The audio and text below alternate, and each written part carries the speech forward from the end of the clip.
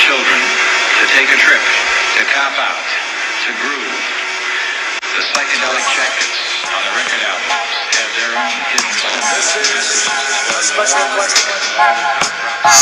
A special question. We don't want you to smoke genetically modified ganja. We want you to smoke the real thing. We want you to smoke the natural herb. Some call it marijuana, some call it sinsemilla, some call it lamb's bread, and some people call it ganja. Welcome to another edition of the Adam Dunn Show. I'm your host, Adam Dunn, And I'm your co-host Mitch Janasa. And we're joined here by Mr. Bicycle himself. Hey. And the Kid and the Nope. kid. Can't do our sock puppet thing, dude. No, sock puppets actually late- crashed the late entire launch system. today because Something must of- have just been yeah mm. encoded differently. We crashed the entire system with our sock puppet attempt today. so we're late. You get less of this this out of introductory time. prattle. Right to news, news, news.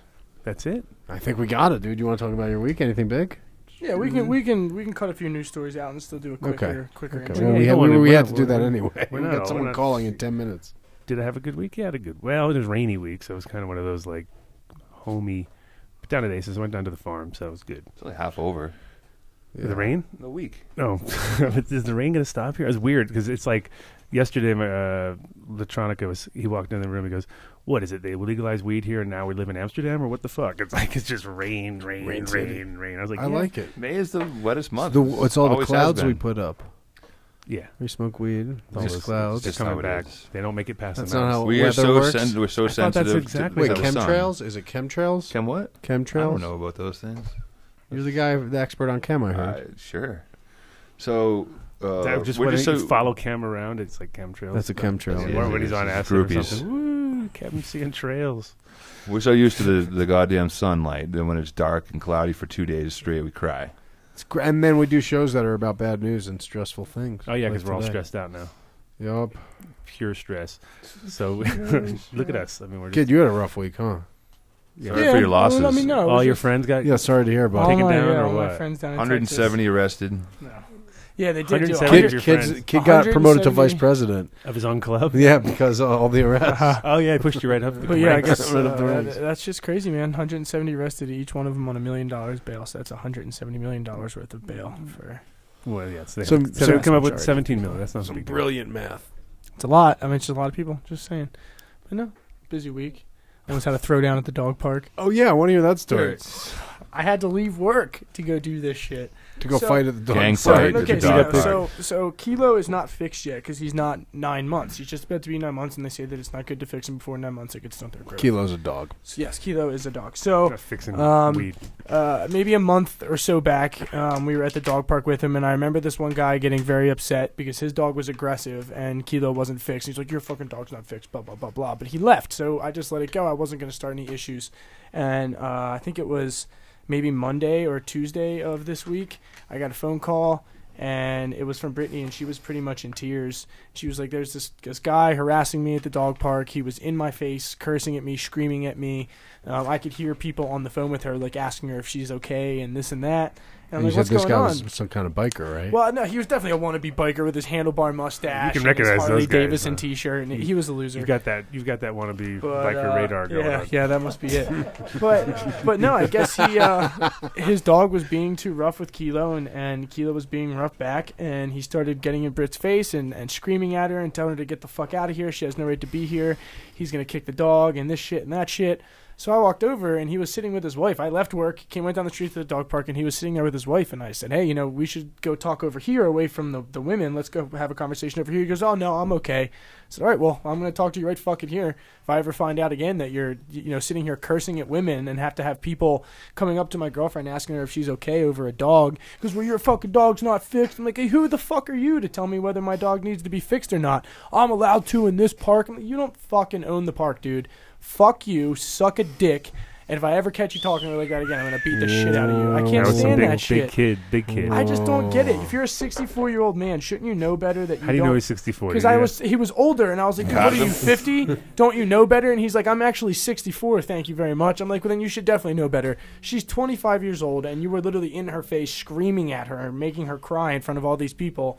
You should You fucking basically know better. pussied out instead of kicking his ass. Well, yeah, I Yeah, pussied out. why I, didn't I didn't why hit didn't him. stab him Thank in the you for face taking like him a that good road. biker, Yeah. a real Violence. No, I didn't. The the, the, Stab the in dog the park is face. right next to the police department, so I don't think I would have I, made I'm it very surprised. I'm surprised all your crew didn't come up and just Whole fucking back crew, you up, back you Whole up on crew. that one. That No, would have it was a serious frustrating, backup though. required. far. I hate that. Six- They were- they towards were women busy. Bullshit. They were busy. They were tied up. They were They were mopping down in shit Texas, up, mopping shit up. handling the biz. So, s- aside from that, Matthew Riot just made a good point that we have totally overlooked, and I can't believe it. What is up with the man bun, kid? oh, it's just my hair gets so long, so I. Oh, I- Oh yeah. if I don't do we, it, we're not overlooking it. We're if I don't, if I don't actually It's do either my the man talk bun or about the it. Hitler. Too I much, think yeah, is what it's too happens much. yeah, here. because if I don't do my hair, it kind of just fucking flops all He over gets the the place. Hitler. well, now what do So- you? He looks like Hitler. And it's not a the bun. man- What- it's what's not the- a bun. I don't have it like. what is the bunned. do in your hair part?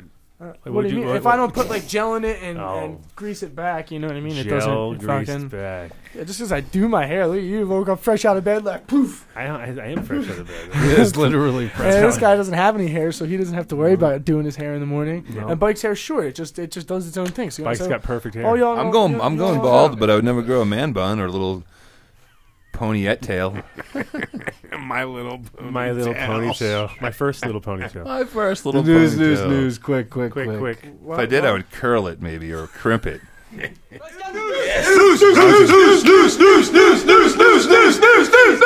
New York Post: Narcotics cops ordered to stop arresting suspects over forty.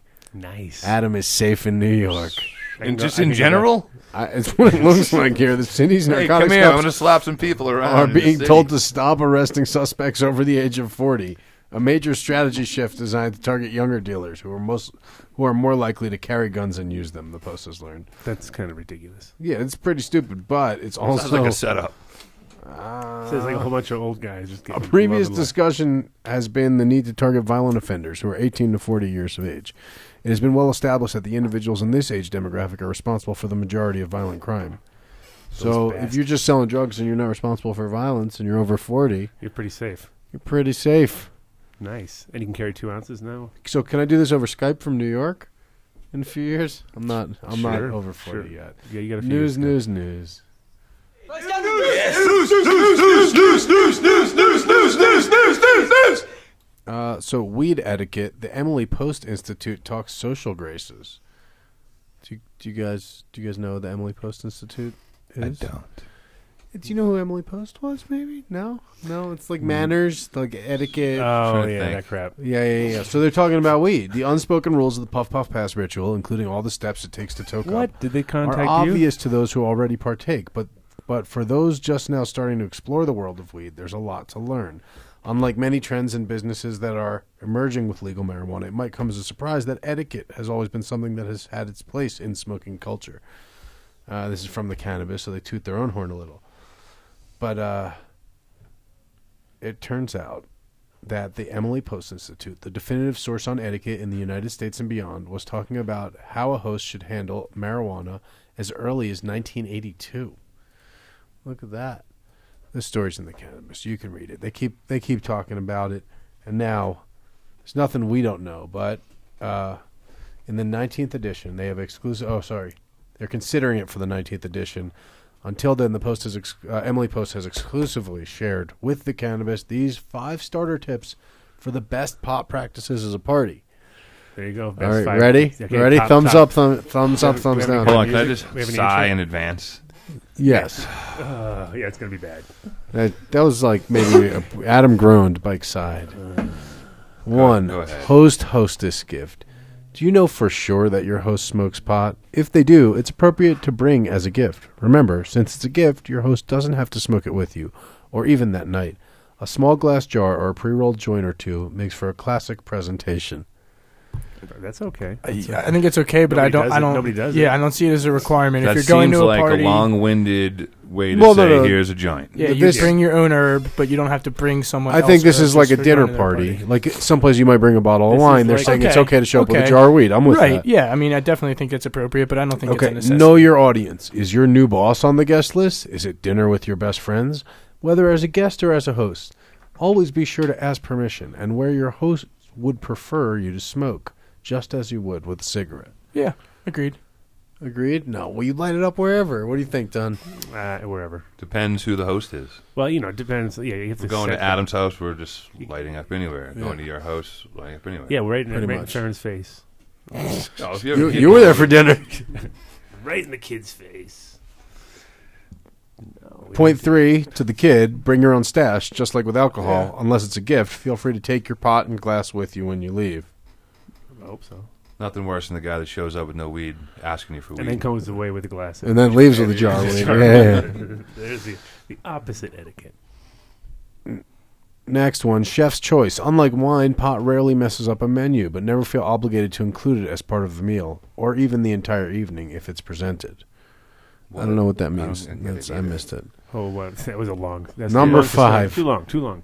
R long E to S read. P E C T. Forgot it before the end. Spelled out with periods. What is Oh, it? God. What R is gonna be E a S P E C it? Oh my God! What do we got? What's an acronym for? Be respectful of those who don't smoke. Remember that even if the host is comfortable with it, some other guests might not be as pro pot, so keep it casual and try not to let smoking turn into the main event for the night. As Mitch is reading these, Sighing thinking no, out. think in your mind to pretend he's talking about alcohol. Imagine if if alcohol is the issue here. I'm offended by someone having a glass of wine in the room, as opposed to someone. I'm offended by someone smoking weed in the room. Well, glass of wine, it's not like it, it doesn't get in the air. I don't care. Go fuck yourself. Uh, while it may turn out that only a couple of you smoke, your offer should be to all guests at the party, just the same way you wouldn't serve wine or dessert to only a couple of guests. You should make sure there's enough pot for everyone to join in. Always be inclusive. Sneaking off to smoke with just one or two other guests is not appropriate. Sketchy. So What are you guys doing? you pretend you're doing something else. Uh, we'll do one more news, I guess. We won't do that one. That's bad news. Uh, We got enough bad news. Oh, this one. I'll do this one. So here's the thing, though. Bike, I feel like you're living proof to the contrary of this story. Smoked marijuana as a teen, you could have been taller. Oh, ever Oh, no. wished you were a bit taller? Bike was supposed to be eight feet tall. Did you wish, Guess, guess what? wish you were a baller? Did you ever wish you were a baller? How about four inches taller? If you smoked marijuana as a prepubescent boy, that wish may not have come true. Researchers at a university in Pakistan studied levels of hormones linked to growth and puberty in the blood of 217 boys addicted to marijuana and 220 who didn't smoke at all. Unfortunately, it's probably some truth to that because I was I was 18 the first time I smoked.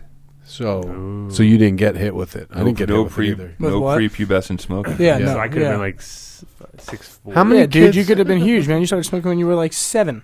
No. Seven. It was 11. 11. I remember. That's but still. pre-puberty. Yeah. Well, I mean, I can't speak for you. I don't know. No, yeah, it was definitely definitely pre. Definitely So- prepubescent at 11, I would hope. I, so I'm, I can't imagine being addicted to marijuana Yeah, yeah, At you that are. Look age. at, look at you. At, at that. that at that age. you know, kids are starting to go through puberty now, like at like eight. Isn't that crazy? It's because of the milk, man. It's You can't fucking drink- wild, Well, dude. it's more than that, but All right, one more news. I got All this that meat one. you guys eat. Yep. Come on now. Hit me, kid.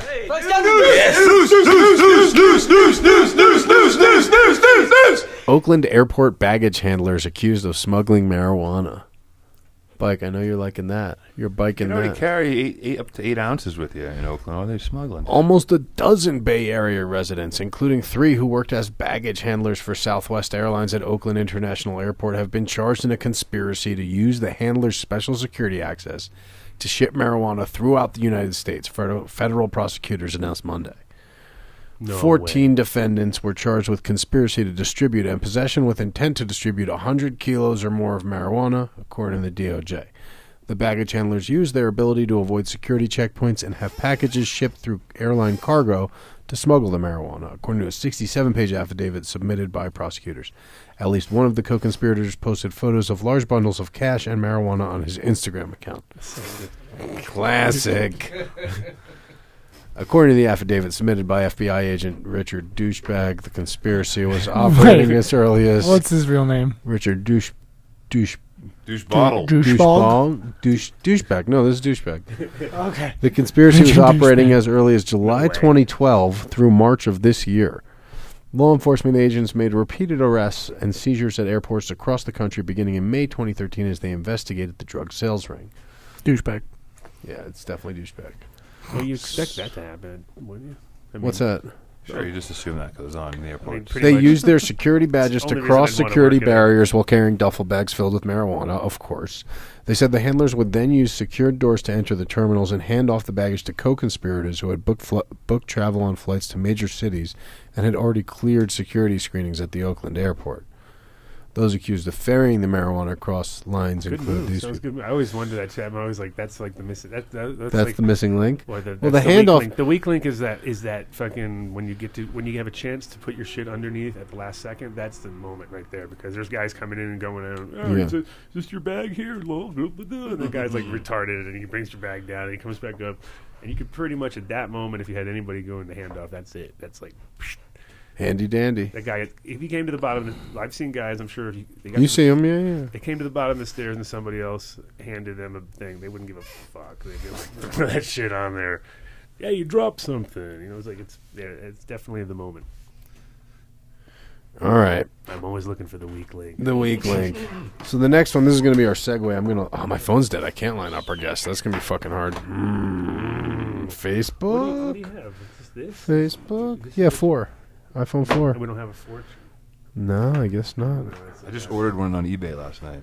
Oh wait, wait, wait! I got one more news. News. News. Hit me. Hold on, uh, let me give me two seconds. I'm checking for a charger. Oh Can my you hit news God. first and check I, one I, I thing in the did bring story? a charger for you, but it's in the car. Ah. so sorry. You can go get it when you get the pizza. News, news, news, news, news. This is the one that Bike sent me. It's about the organ donor wait list, and I'm waiting for it to load. Organ donor wait list in Calif. Organ donor waitlist patients can test be having a positive for call right cannabis in California. Yes, pick them up. Welcome to the Adam Dunn Show. It's about the organ donor wait list. Oh, you can you turn the show down in the background, please? In Cal- Hello? Organ donor Yo, can you turn the show down in the background? In California. Yes, pick them up. Oh, we got you. I think we're better now. Oh no, now we're in a time warp. Oh, can you turn the show down in the background, please? Yeah, right on. Oh, he hung up. He so hung that up. explains it. That's not the answer. to Nine that. two five was whoever that. I don't is. know. My phone's dead, man. We are expecting calls on calls on calls. Call back and turn your radio down or whatever instrument of amplification that you happen to be using.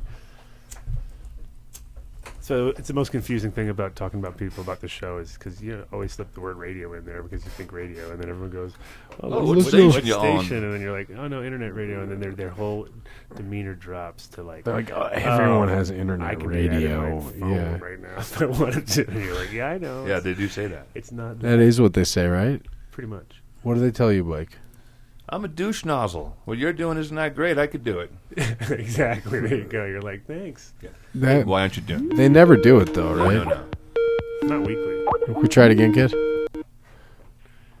Welcome to the Adam Dunn Show. Hello. You're live on the air.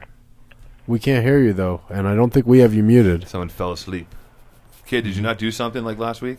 No, don't blame the kid. I'm pretty sure the I kid's on top shit of runs it. downhill. See, no one's blaming you, Mike. I'm pretty tall, dude. Nothing, nothing. Is this back? Hello, there. You, hello, caller. Guy stepped Hello. in shower. Hey, welcome. Ah, goodness. We, We go. got you. How you doing, guys? Hey, what's going on, man? You're live. So, uh, what's uppers? Ready What's talk about what happened in Vegas? Oh, you better believe it. So I didn't even get to line it up. Yeah, we have all bad news show today, so we're definitely talking about what went down in Vegas. I'm not going to even line it up with a news story. Tell it, tell it to us how it went down to you chronologically, and we'll sit here and smoke and make snarky comments okay, and eat so, pizza. uh, you know, uh, we showed up on Vegas. Um, Oh, introduce outside- We yourself have, to, first. we have to introduce Yeah, our yeah, caller. yeah, Nobody yeah, knows who yeah, we're yeah. speaking to. yeah, say your Um, name. I'm say Chris with MCS uh, Collective out of San Francisco and Davenport Extracts. right on. and so, and Chris, you have some background with uh, with the HempCon folks, correct? Correct. Um, I help them, you know, organize the competition side. Um, me being a competitor in the scene, you know, I saw some false and different, you know, competitions, and I wanted to make this competition as plain and simple and easy for people to read and not get fucked. Um, better word for it. Um, you know, I so they came to me about two years ago, and I've been helping with that. Um, this time around, um, I actually wanted to be a competitor, um, so we let uh, another collective in Las Vegas, uh, Red Dragon Brothers, do our intake, um, so we could be legal in the state of Nevada. Um, we did our intake uh, two weeks ago. Um, then uh, HempCon contacted everybody to let them know, hey, we got off the phone with, um, you know, the sheriff's department and um, the general manager for the event, letting them know, hey, you guys cannot vend or show any product at the show. Um, Now- you know, now can I ask got- you, were got you- the memo and understood what was going on. Did you? can you go over the details of that call? Were you on that call, or you heard it secondhand? I, I, I heard it secondhand um, through the management. Um, you know, I, I work very, very closely with them, so I, I know exactly what's going on at all times. Um, and I work with the vendors very closely. Um, you know, so I know, I can let them know the contract that everybody signed to go to the show states big bold writing: no vending, no show of products to this show. Uh, we do shows all through California, and this was a totally new atmosphere for us. So we wanted to go in there and play the good part. Hey, we can do a cannabis event and listen to your rules. Well, there were some keen individuals that didn't want to partake on the rules, um, and unfortunately got themselves arrested. Uh, so on Friday, everybody sh- uh, came in to do their load up and set up their booths. Everybody was in a good, you know, good mood. Um, you know, the HempCon staff went to every booth because they came to our booth and said the exact same thing. There's going to be two Metro Poli- police officers here for your guys' safety. Um, when they have an, a, um, a concert or anything like that, they have to have, you know, officers there. They pay the officers to be there to protect the vendors and the crowd. Um, so once that was all taken care of, it was great. Um, on Tuesday, we, back up a little bit. Uh, on Tuesday, the narcotics officer actually called HempCon to let them know, hey, we're we're taking zero tolerance to this. Um, so you know, we're going to be coming out. We, we're not going to tell you we're coming out, but we're going to show up. Uh, Friday, they showed up heavy. Um, there was about eight undercover officers from Metro PD and the DEA there, um, and it, and it was mind blowing. Um, these guys are just regular clothes. They went up and bought a ticket like everybody else and walked in, um, and they were going to booth to booth to booth, trying to get people to sell them stuff. Um, so, and the first person to be hit was, uh, I believe it was uh, infused edibles. Um, they went up to their booth. They had their their booth set up completely with edible line, everything. Officer made a purchase from them, and that's when they were um, arrested. They were the first people to be arrested And this was on Friday, correct? on Friday. Correct. Um, the second people uh, was a lotion company. Um, a lady that had a bunch of CBD lotions, um, CBD lubes, and it was just crazy stuff. Did she get Um, released, or was she actually up- charged with CBD stuff? Yeah, she had nothing but CBD stuff, but her problem was she sold a THC joint to an undercover agent. Oh, she sold a joint. Okay. yep. Yeah, that, She sold one joint to the undercover agent, and that's what they they ended up raiding her booth and find all the pre rolls that she had um, underneath her table. Uh, you know, they actually cited her and released her um, on her own reconnaissances. So she did not sit in jail.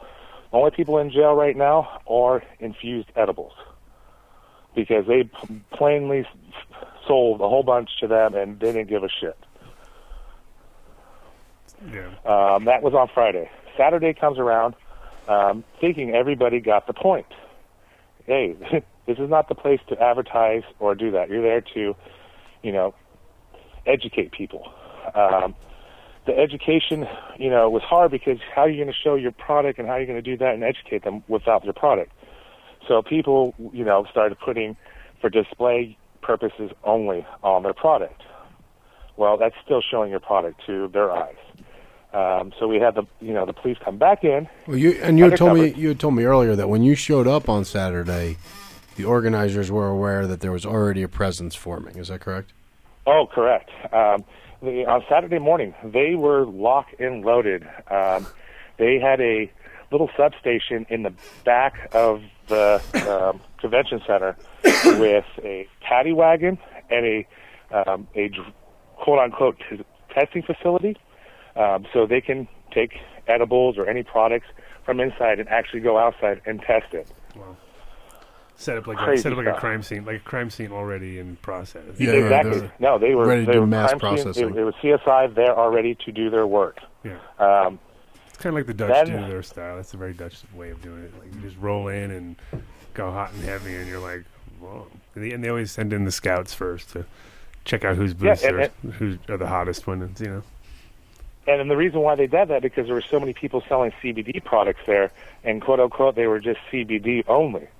So they said, okay, well we're going to bring our CSI in and we're going to test it, your quote unquote CBD products. Yeah. I see. I see. So, so I've they were permitting ever. I've been theory. For long years, and I've never seen anything like this. Yeah. no, Um, that's definitely so that's definitely going to ruin that they show. Were, they were all piled up in the back, ready to wait for all the vendors to come in and start going through it. Um, you know, there was these guys were wearing disc- uh, disguises.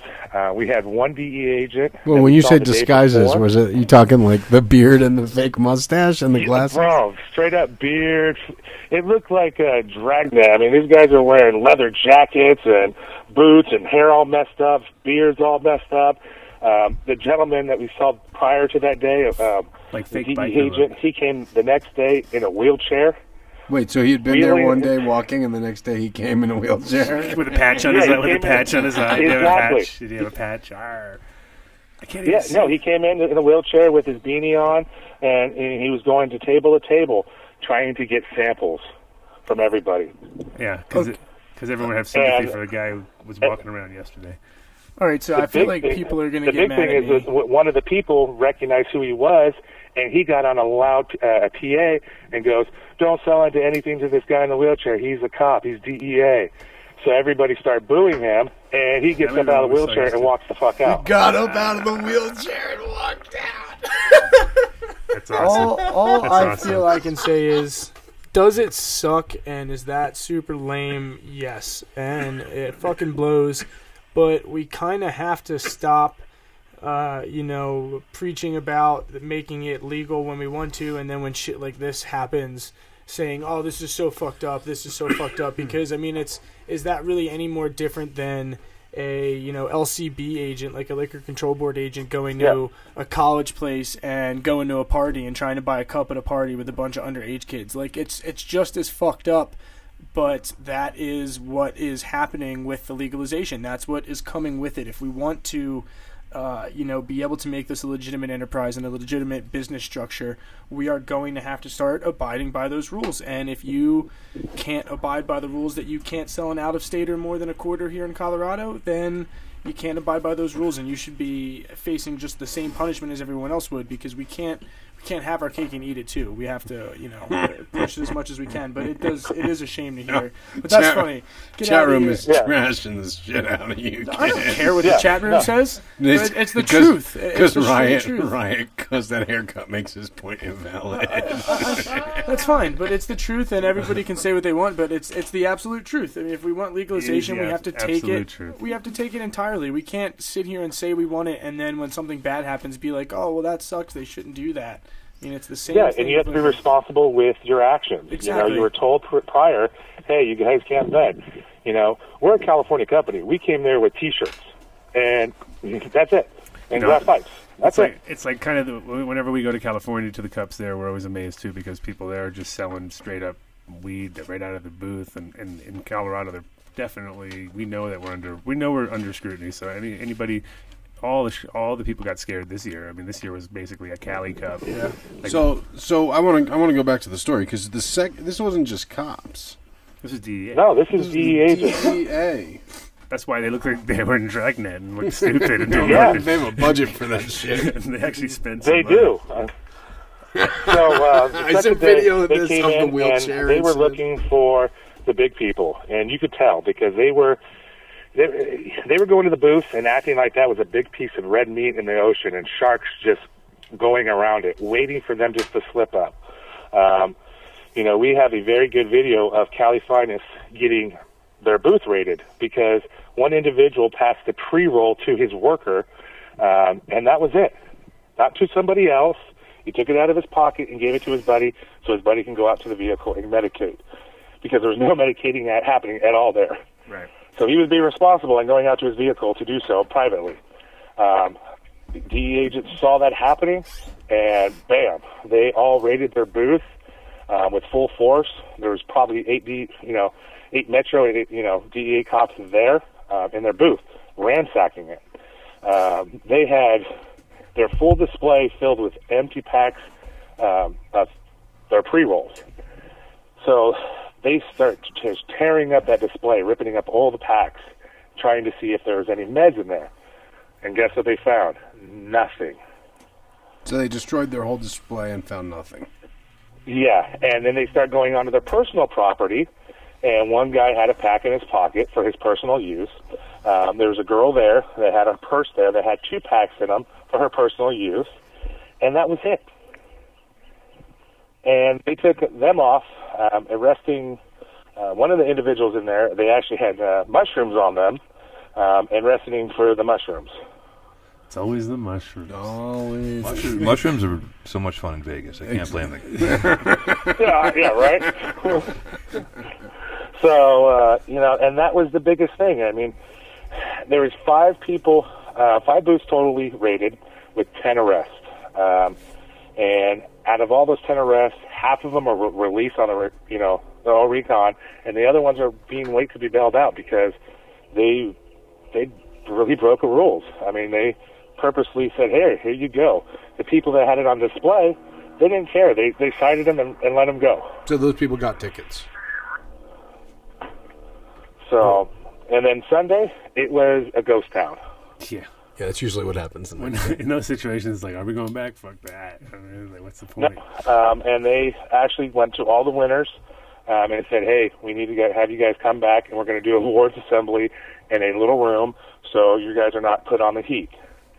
So HempCon and iBudtender uh, went to everybody's booth and said, "Okay, we need you to come back and uh, go to this room." And we're all walking back, like, "What the hell's going on?" We just we have no idea. And uh, they said, "Okay, we're going to do the awards assembly here," um, and basically gave us all our awards, whoever won, and uh, we went on our way. Um, and that was at two o'clock on Sunday, and they were still strong there. Um, they had probably about at that point in time on Sunday, thirty cops there, undercovers. So it was there, it was only It was cops, only cops only walking cops, around. Only people there Thirty cops. cops walking around an empty thing with kicking cans, basically. Like, I- damn. exactly, and that's why everybody knew. Okay, these are not these are not patients. These are not cannabis users, and you know, I went- I went back there, ripped all my banners, closed the booth, and we were, you know, back to our house. So I'm trying to find the video, the good video. Um,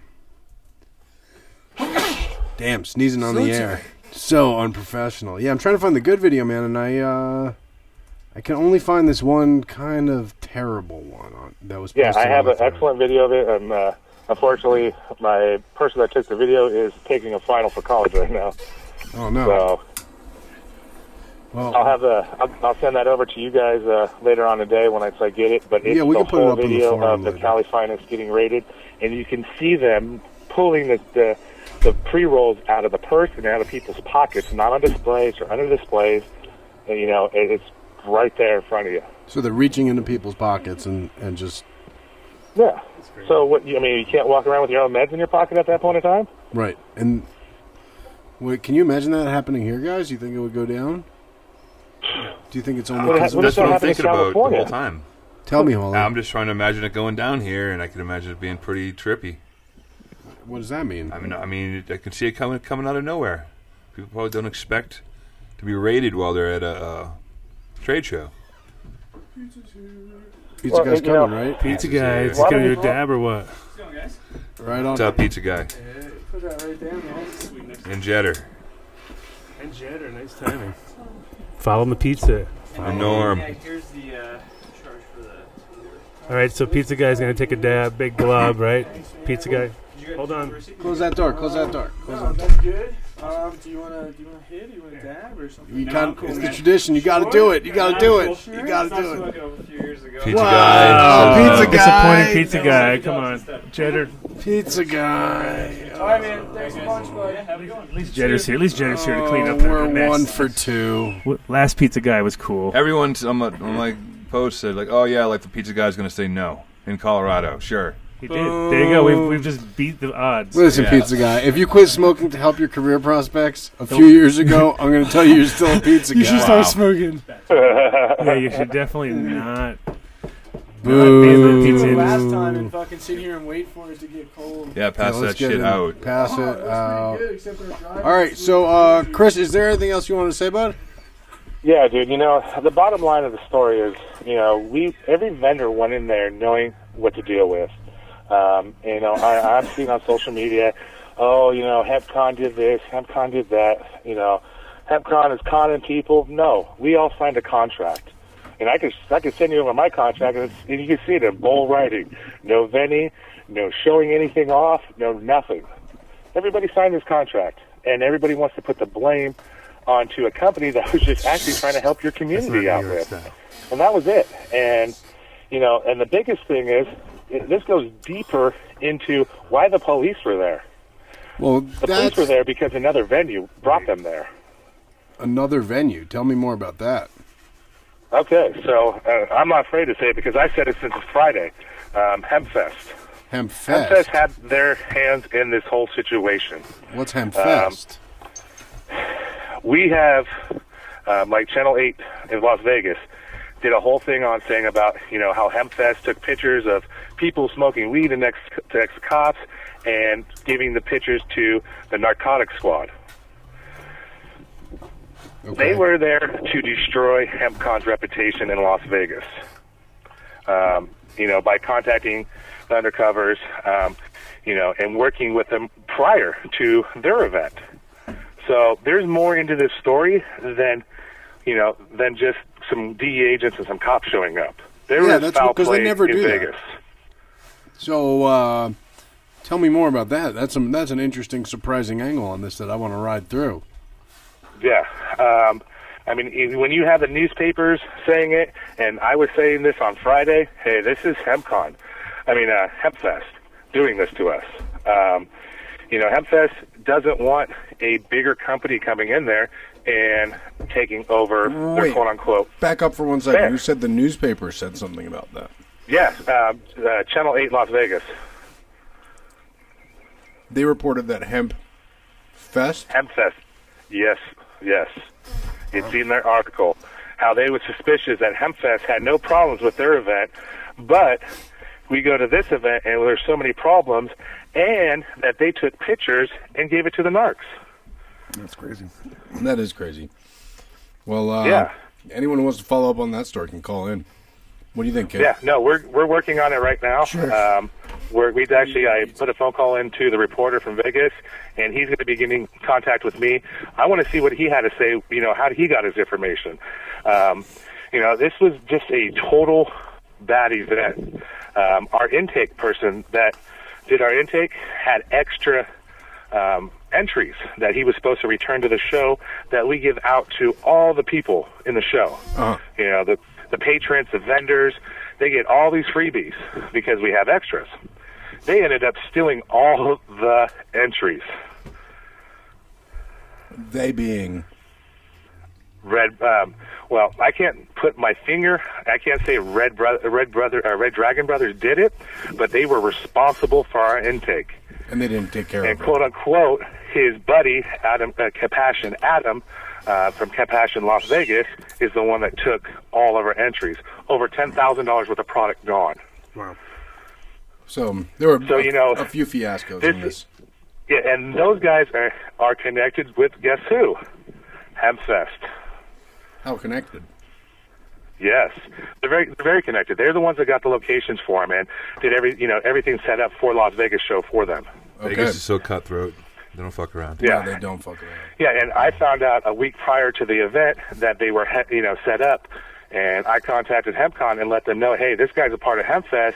We need to do something. At that point in time, we couldn't. We were already in contract with him, so we could not pull back. So we said, okay, well, we'll just go on with the show and and hope for the best. Well, I knew it was coming, and when time was, you know, for us to receive the the extras back to give to the crowd, they were totally gone Right. and we heard in a half hour. Uh, I heard five different stories from Nate from Red Brothers, uh, from Red Dragon Brothers. Five different stories where that product could be. And it never showed. So up. But it wasn't where it's supposed to, where it was supposed to be. Either way. yeah, he was supposed to bring it back to the show, and it went from oh yeah, I, my brother brought three, or uh, Adam brought three boxes over and gave it to this guy. Well, we brought all our workers that were there, and he couldn't pick out one worker that you know who he dropped it off to. He goes, "Oh, it was some other guy." I said, "No, this is all the guys, bud." And then it went from, "Oh, we did, we just left it by the door," um, and then I said, "Well, the funny thing is, you sit here and say three boxes, but we had nine boxes in total. So, you know, you're lying already about how many boxes there were." Uh, because iBudtender did a full count before they left intake, so they knew exactly how much medicine was there. And that's So Vegas. it was it was just basically Las Vegas people yeah. doing some scandalous ass shit So, all all the way around. so do we, do And we think? Did the did they give any indication that there is like a, a bigger presence that that you know there's a national agenda or something that's looking you know in terms of the DEA and things like that that are watching? We're watching you guys. Did they slip up like No, that? it, it was more like, hey, we're, we're going to sink hemp uh, because we don't want this in, in in our you know in our in our town or in our state. it was it was pretty specific to HempCon. Yeah. Oh, for sure. I mean, especially when you have a Hempfest out there taking pictures of people smoking against the the two cops that we hired to watch people, and they were the two March cops there said, "I don't give a shit about you guys. I'm here to make sure nobody does anything crazy." Right. And Like they they were be. fine. They told, "Hey, you guys want to smoke? You smoke over there." They were super polite. Um, it was the undercover cops, and that had a different agenda. Like somebody paid them off to do this. Well, And from what I heard, you you know, everybody, every big local out there said, yeah, you didn't pay off the right cops to do this. And it was just, it's a cowboy town, I guess. Yeah, that's kind of how it is. I'm, I'm curious. Definitely stay in touch as you talk to that reporter and find out more on this story. Uh, we're going to bring it back to bad news from here in Colorado. um, but thanks for calling in, man. Thanks for breaking down the All right, whole guys. story. We'll be bringing it back again in the last hour. If you want to add any details or answer any questions, you can call back in. All right, bud. Thank All you thank, thank you. Hey, thanks for calling in. All right, bye-bye. All right, so first of all, fuck a Amore Pizza. This pizza, when they say New York style, Is it Ragu Brothers Pizza? I mean, yeah, I am going to have another slice, but it's No, disgusting. It's don't not even New do York it, style. dude. Did you say extra cheese? Uh, No, no. I said okay, regular. imagine if you just, did, imagine if you said extra cheese. just uh, regular. It was like it's swimming. thick. Put that up. It's like a It's coat of like- paint on there. It doesn't Terrible. look anything like pizza. It's too No, fluffy it's to wrong. be pizza. Wrong. It's it's I, I, it's, it's, it's As he grabs as his he second just slice. stuffs it in his mouth. and shoves it into his It's mouth. horrible. it's not it's not New York pizza. No, it's totally not New York pizza. Like that's And why their guy I didn't didn't even smoke want it at weed. first. I didn't even want it at first. I was like, ooh, I don't know. It looks like it's way too much cheese. Look at this. Look I'm at still- this. Look at I'm this. still noticing how everybody's only saying I didn't want it at first, or hey, Well, you, this you is shitty, but it was I'm going to wasn't eat so bad that I I'm just done. spit it out, I'm but I could not eat another one. No, I'm done. I, I, That's gonna hurt I'd later. eat Elios, you know, like I, Okay, Elios or Elios? Elios. Elios? Elios, Elios? Elios. No, Elios. Elios? But how do you spell eel? It's not It's Elios. I know. differently. I It's know. not Elios. But, but Silent E, you bro. just said it was Elios. Invisibly. It's a, it's a pronunciation. It's Elios. It's, no. It is. It's if not. you look it up not- on their website, it says Elios your and mother says it, are right? both correct. But however, I say Uh, Elios. you've looked it up on their website. And you, Oh yeah, you're- that's a, that's like a, a conflict I've been having since I was a kid. Elios or Elios. Don't pretend like you've never had that conflict. I have never had that conflict. We just did. Like, Small-minded. We just did. You You're all did. You're way more conflict prone than we You, are. you did in your own mind, and I just sort of Conflict massaged it. Just saying. Kind of But you can't get out I here. tried to keep it's it away. disappointing. Elios? Elio's? Yeah, you can't get it. All right, just shut the Jesus. hell up. Who cares? Tomato? Tomato. Tomato? Tomato. All right. It's definitely a tomato. Um, Potato. so All right, you let's- guys want let's to bring talk it- let's more bring bad in- news? let's bring in the. Yeah, I'm all. Bring on. Oh, wait, wait, let's we gotta bring your mic in. We gotta bring your mic in. Hold on. Wait. Where it is? We're not More set bad up. news? Are you talking about their bad news? Did something else happen to you guys? No, they're bad news. All right, that's still bad news, but I was just making sure nothing else happened. No, since there was the Vegas bad news that we just Right, got. yeah, yeah. So now Colorado bad news. Tell the whole story because we never told it. Oh, Okay, well, I, I guess it, it depends on how far you want to go back. Let's let's go back to the beginning. Uh, basically, in Beginning of time. beginning of time, uh, recreational cannabis time, uh, 2013 January. Uh, the bill was signed by Governor Hickenlooper. um, we incorporated Blue Mountains, uh, BM Services, uh, MJ Proper, uh, Lazy Lion. There was a few of us that all incorporated as private collectives, uh, membership uh, assistance programs for recreational cannabis. Uh, on the heels of that, House Bill 1317 went into effect uh, right around May of 13, uh, effectively grandfathering our models in uh, into the collective market. Um, you went had you had the Lazy Lion that went up into Colorado Springs and set up a brick and mortar location as, and has been very successful. Um, been on the reimbursement model for a little over a year now. um, in Denver, we BM Services did a delivery model. In other words, we were providing all of our assistance through delivery. So we did uh, reimbursement models down on 420 at Casselman's uh, in a DAB bus, in a DAB bar.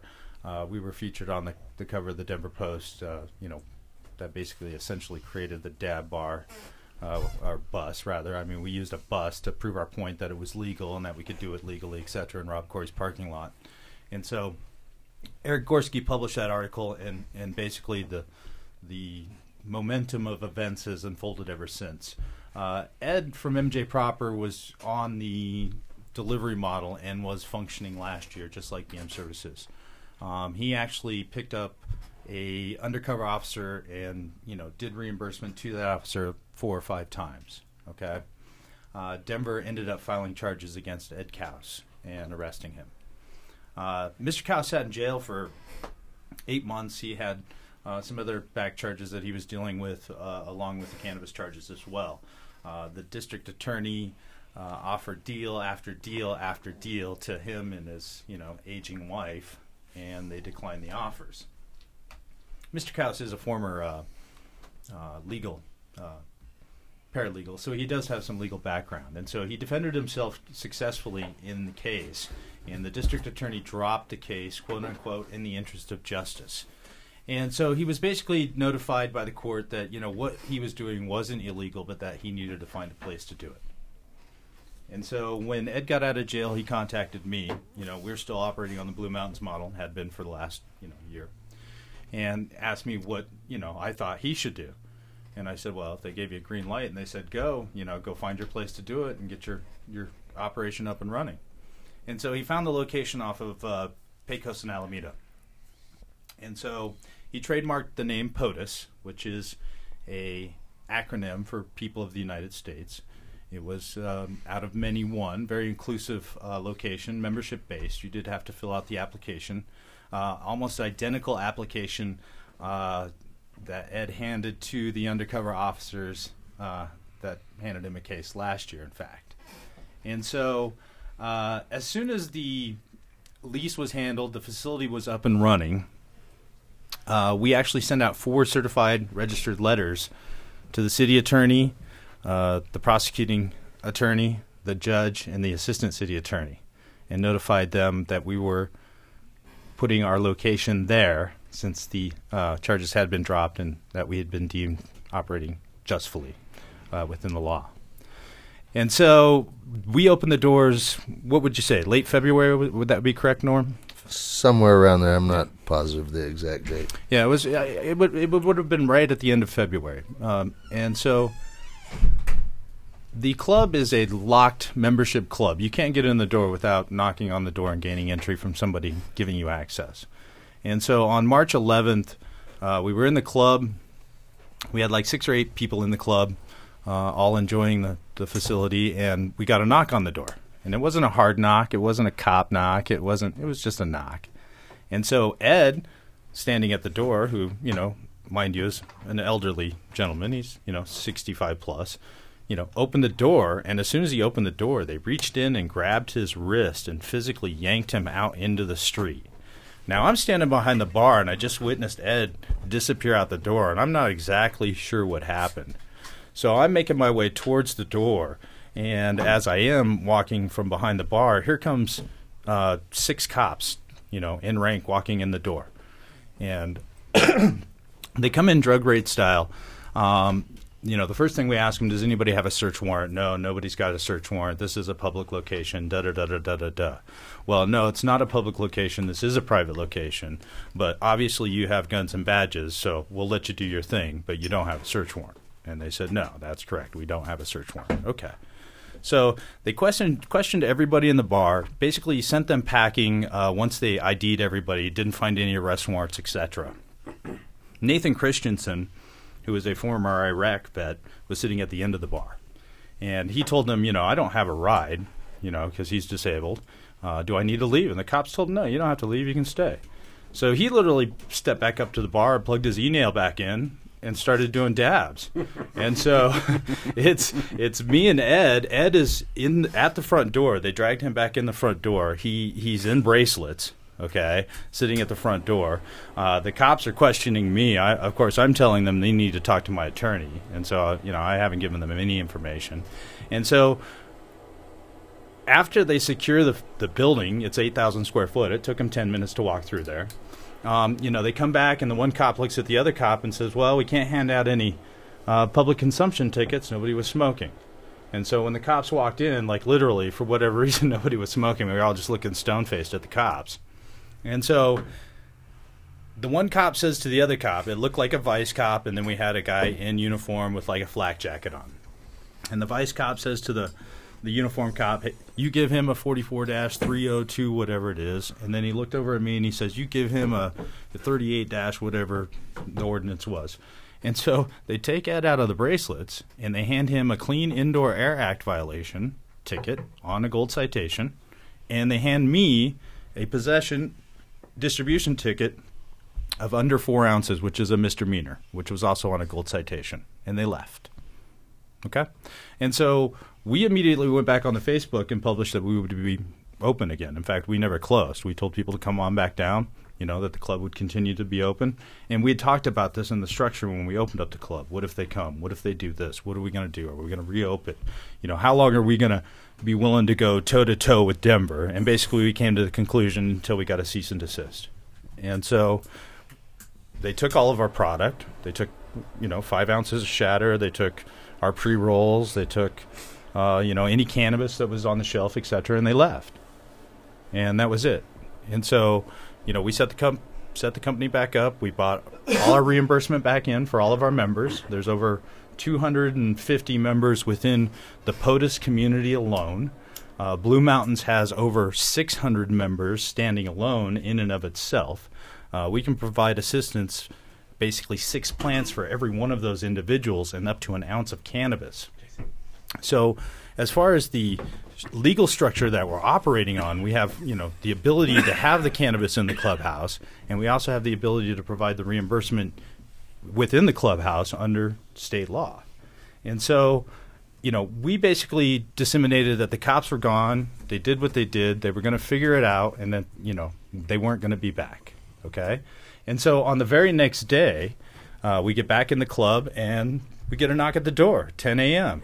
And you open up the door and it's a fire marshal. You know, fire marshal wants to inspect fire code. So they walk through. The, the fire marshal walks through, and of course we we pass fire code. Everything's good, and so the fire marshal leaves. You know, and he basically explained to us, look, you know, one guy a day gets this radio, and he's like, you know, you're lucky it was my day you know, because I don't really care. Everything's legal, and as far as I can see, everything in here is up to code. And he left. Okay, so we ended up throwing a party that weekend. It was it was the controversial AJ Hashman's party. Okay, you know the one that always gets harassed at the Roxy or water or wherever he throws it. Yeah, okay? they really have their exactly. And the fire marshal warned us too that code enforcement was going to be back with the police. And so the thing is, is look, we had all these things in mind. We made sure that code was right. We made sure that our our our our structure was right. We made sure that the club membership was structured correctly. The papership was structured correctly. You had to fill out every form, etc., before you could even partake in the club. And I mean, people were upset. It was like a 12 page application. People were like, oh my God, why do I got to sign my life away? Well, because that's what protects us. Right. Or And- theoretically. Theoretically, and that's exactly it. And so after, you know, building code came through and fire code came through and there were no more violations, I think it was pretty clear to the city of Denver that they didn't have uh, an ace in the sleeve to pull out. And so, you know, basically what they did is they set it all back up for an undercover investigation on 418, you know, which is 420 weekend. It's the biggest weekend, course, right? of course it is. And and if we had a full house on Saturday, you know, no doubt there was there was a full house, you know, there was probably 50, 75 people in there in the middle of the afternoon Yep. when the cops came in. And so, you know, I'm actually behind the bar the member comes up to me, asks for a sixty dollar sack, which struck me as a bit odd because typically it's a quarter or it's an eighth or it's a gram, you know. And this guy asked for a sixty, and I turned around, I was like, "You want a 60? He's like, "Yeah, sixty. I said, "Okay, here's your sixty. So I waited out, I gave it to him, and he walked away. And so as I walked over to the front of the counter, uh, all of a sudden the door opens up. We get a knock. Doorman opens the door. Cops rush in with a piece of paper in their hand, and they're like, "We got a search warrant. We got a search warrant. Everybody sit down." Da da da da da. And I mean, they came in twelve deep. I, I, I counted every single one of them. Okay, so they come in twelve deep like it's a drug raid.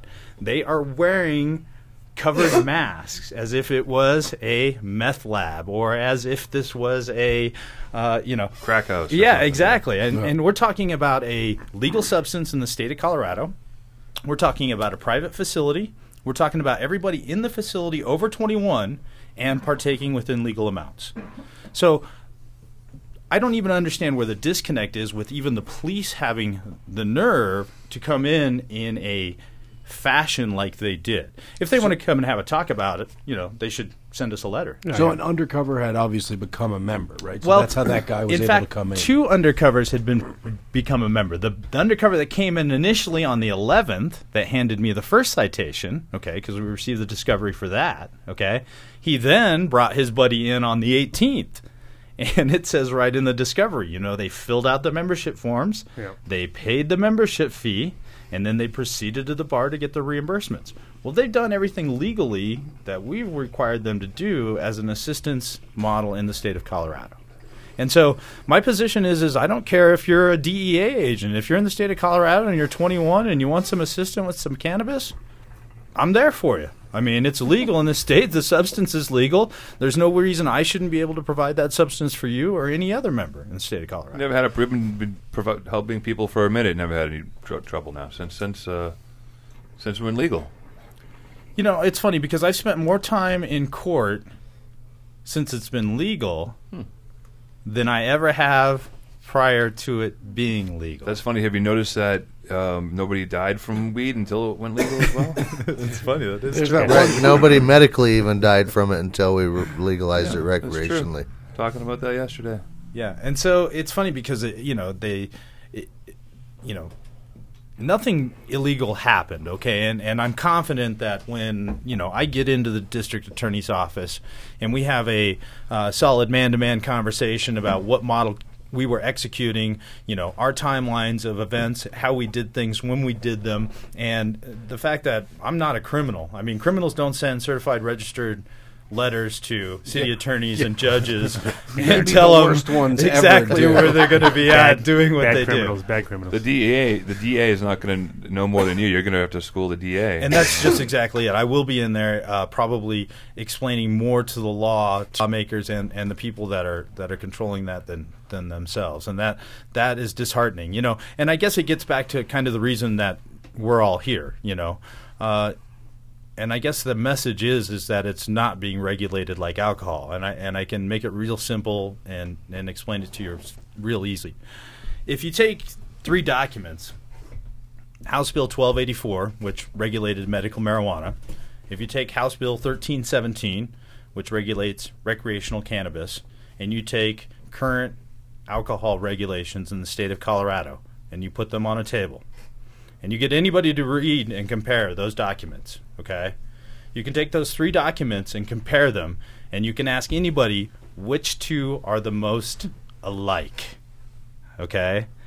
The two that are most alike are 1284 and 1317. In fact, 1317 was basically crafted directly off of 1284. Uh, the entire quote was basically ripped out of there. There has been some tweaks for uh, red card emission, uh, 21 up in sales, uh, etc.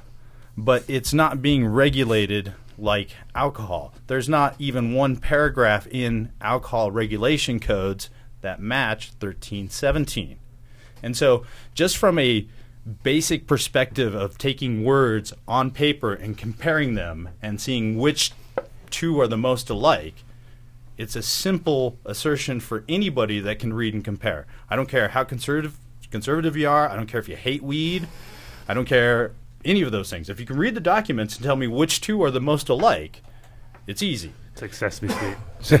It's like tricky for some people. I, I do have questions. I have you, you've provoked a lot of questions in me. Yeah, why don't we just in case we've had any new listeners since his explanation, just remind everybody what we're talking about. I do want to do that. So here's what I'm thinking. I'm thinking we should do shout outs, bring it Perfect. back. Yep. Like a real good. show. Like a real All right, show. cool. I'm Let's- a real show. I'm a real show now. of course, big, big, big, big shout out to Way to Grow.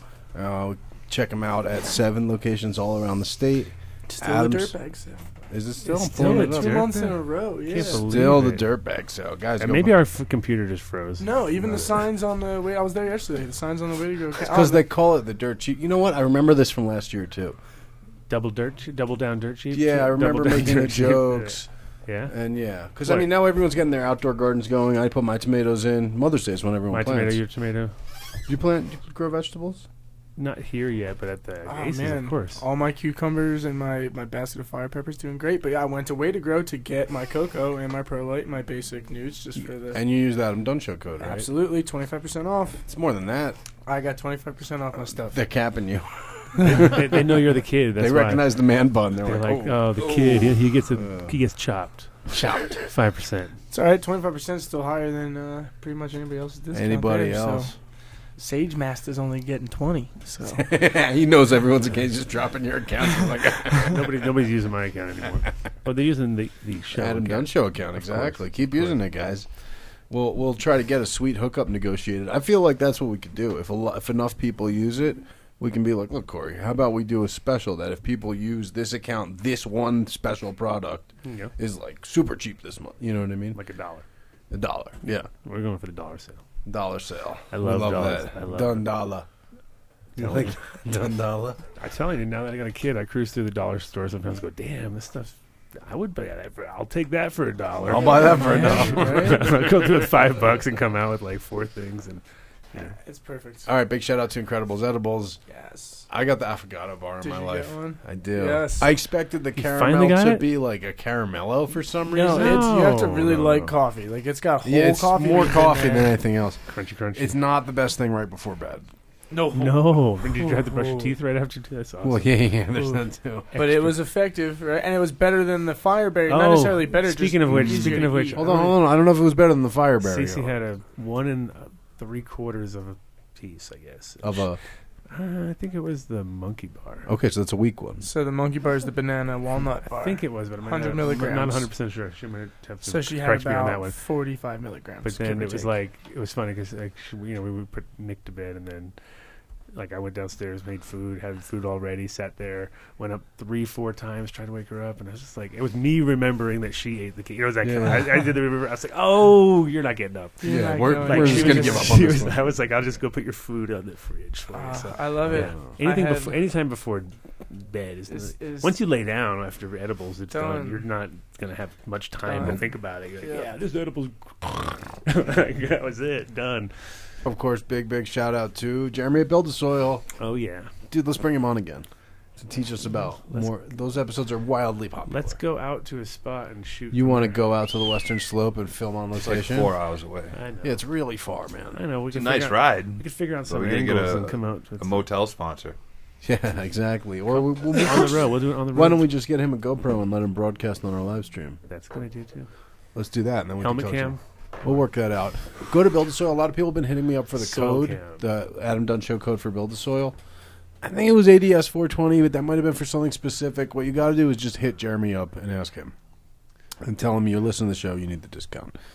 And of course, big, big, big shout out to Dark Horse Genetics. Where's where are you hiding, Jason?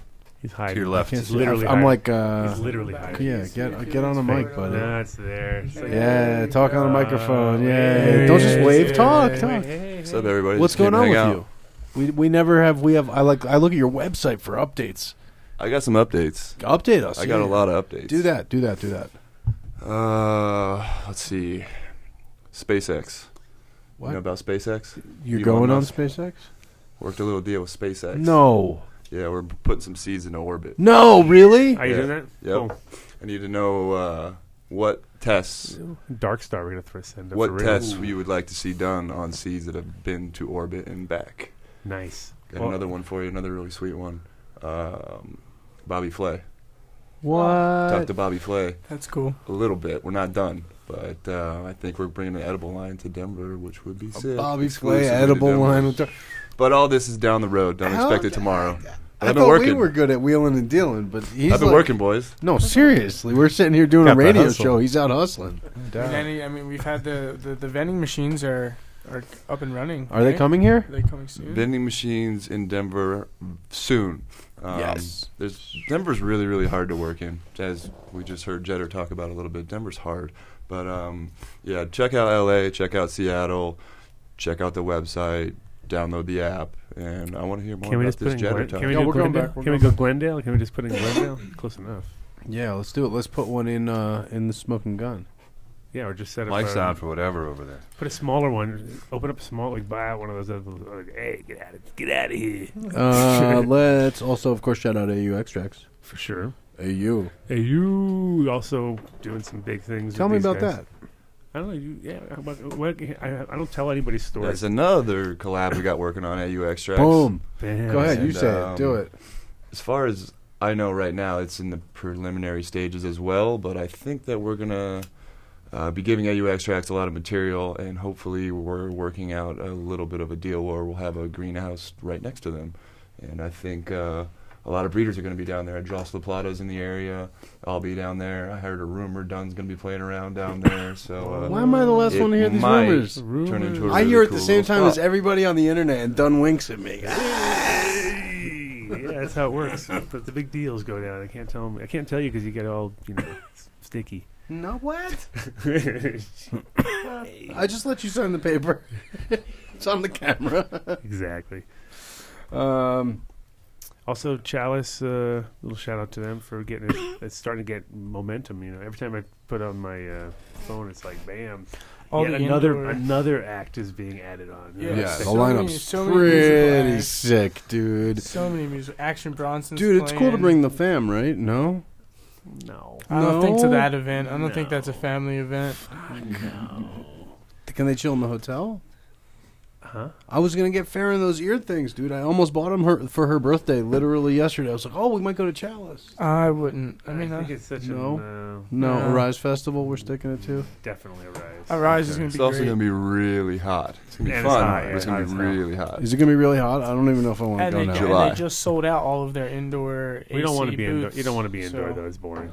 What? All the stages are outside. It's gonna be all stages. Oh, Dawn, it's gonna be so hot and dusty. Your beard's gonna be all like dreadlocked, wook out. I can look. I can look it up. Look out. I can do that. Oh, it's gonna be Mad have- Max. Yeah, it could be Mad Max. That'd be good. We can do that for. All right, let's fucking do it. All right, we'll All do right. the Mad Max edition. There you go. Boom. Boom. All right. Uh, and on that note, you wanna bring it back? Bring it back. So uh, we're talking here with Chris Jetter of po- formerly of POTUS or still of POTUS? Well, we're with Blue Mountains. You know, you got to understand the structure of the uh, the Sure. the And that's where my questions are aimed. So yeah, please. and, and let me uh, let me clue you in. Basically, the the structure was when MJ Proper Ed came to us and asked us if we wanted to be a part of a club. Uh, the answer is yes, and the answer is always yes. Adam Dunn, you want to open a club? Yes. Mike, you want to open a club? Yes. Um, look, we're we're in it to win it, and we feel that we can provide reimbursement services in a box, on a plane, and a train with a fox. We don't care where it's at in the state of Colorado. You want reimbursement? We're on spot. We'll can handle you, it. Can you can you explain how that works legally? Yeah, eh, I can. Okay, Oh, I was basically, gonna say that's definitely Because was Dr. because here's reference. the thing, all before, even before the Dr. Seuss reference, all of this sounded really awesome. I actually do want to do one more pause before I hit pre- press you for the answer. Sure. Hit pet, pet, perfect. That that that that. If you're watching the show, hit like right now, please. I'm gonna try to point to it. It looks like if I go like this, I might be pointing to the like button somewhere in this region here. Hit like or tweet or not not the heart, not the one that's over above the kid. Does it look like this? The one above me. Is it a thumbs up? No, not. It's not. Those up. like buttons are thumbs up, right? N- It's uh, it probably is Does now. it just say like? But anyone, anyway, everyone, please, please, please. Now, see, I see you guys clicking the wrong like button. Click the Facebook like button. There's like a hundred of you watching. If even half of you click it, we'll be able to get this thing moving in an extremely awesome direction. That's all we're going to ask for admission to this. Now then, Jetter, tell us the secret to how you did the reimbursement. Okay, it, it's in assistance. Okay, what the Constitution says in the state of Colorado is, and I'll quote it: assisting another person who is 21 years of age or older in any of the chara- characteristics of the acts described in paragraphs.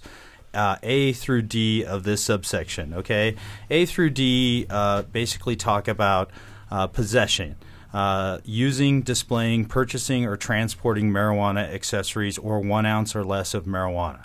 Uh, possession, growing, processing, or transporting no more than six marijuana plants, with three or fewer being mature flowering plants, and possession of the marijuana produced by the plants on the premises where the plants were grown, provided that their growing takes place in an enclosed, locked space and is not conducted openly or publicly and is not made available for sale. Okay?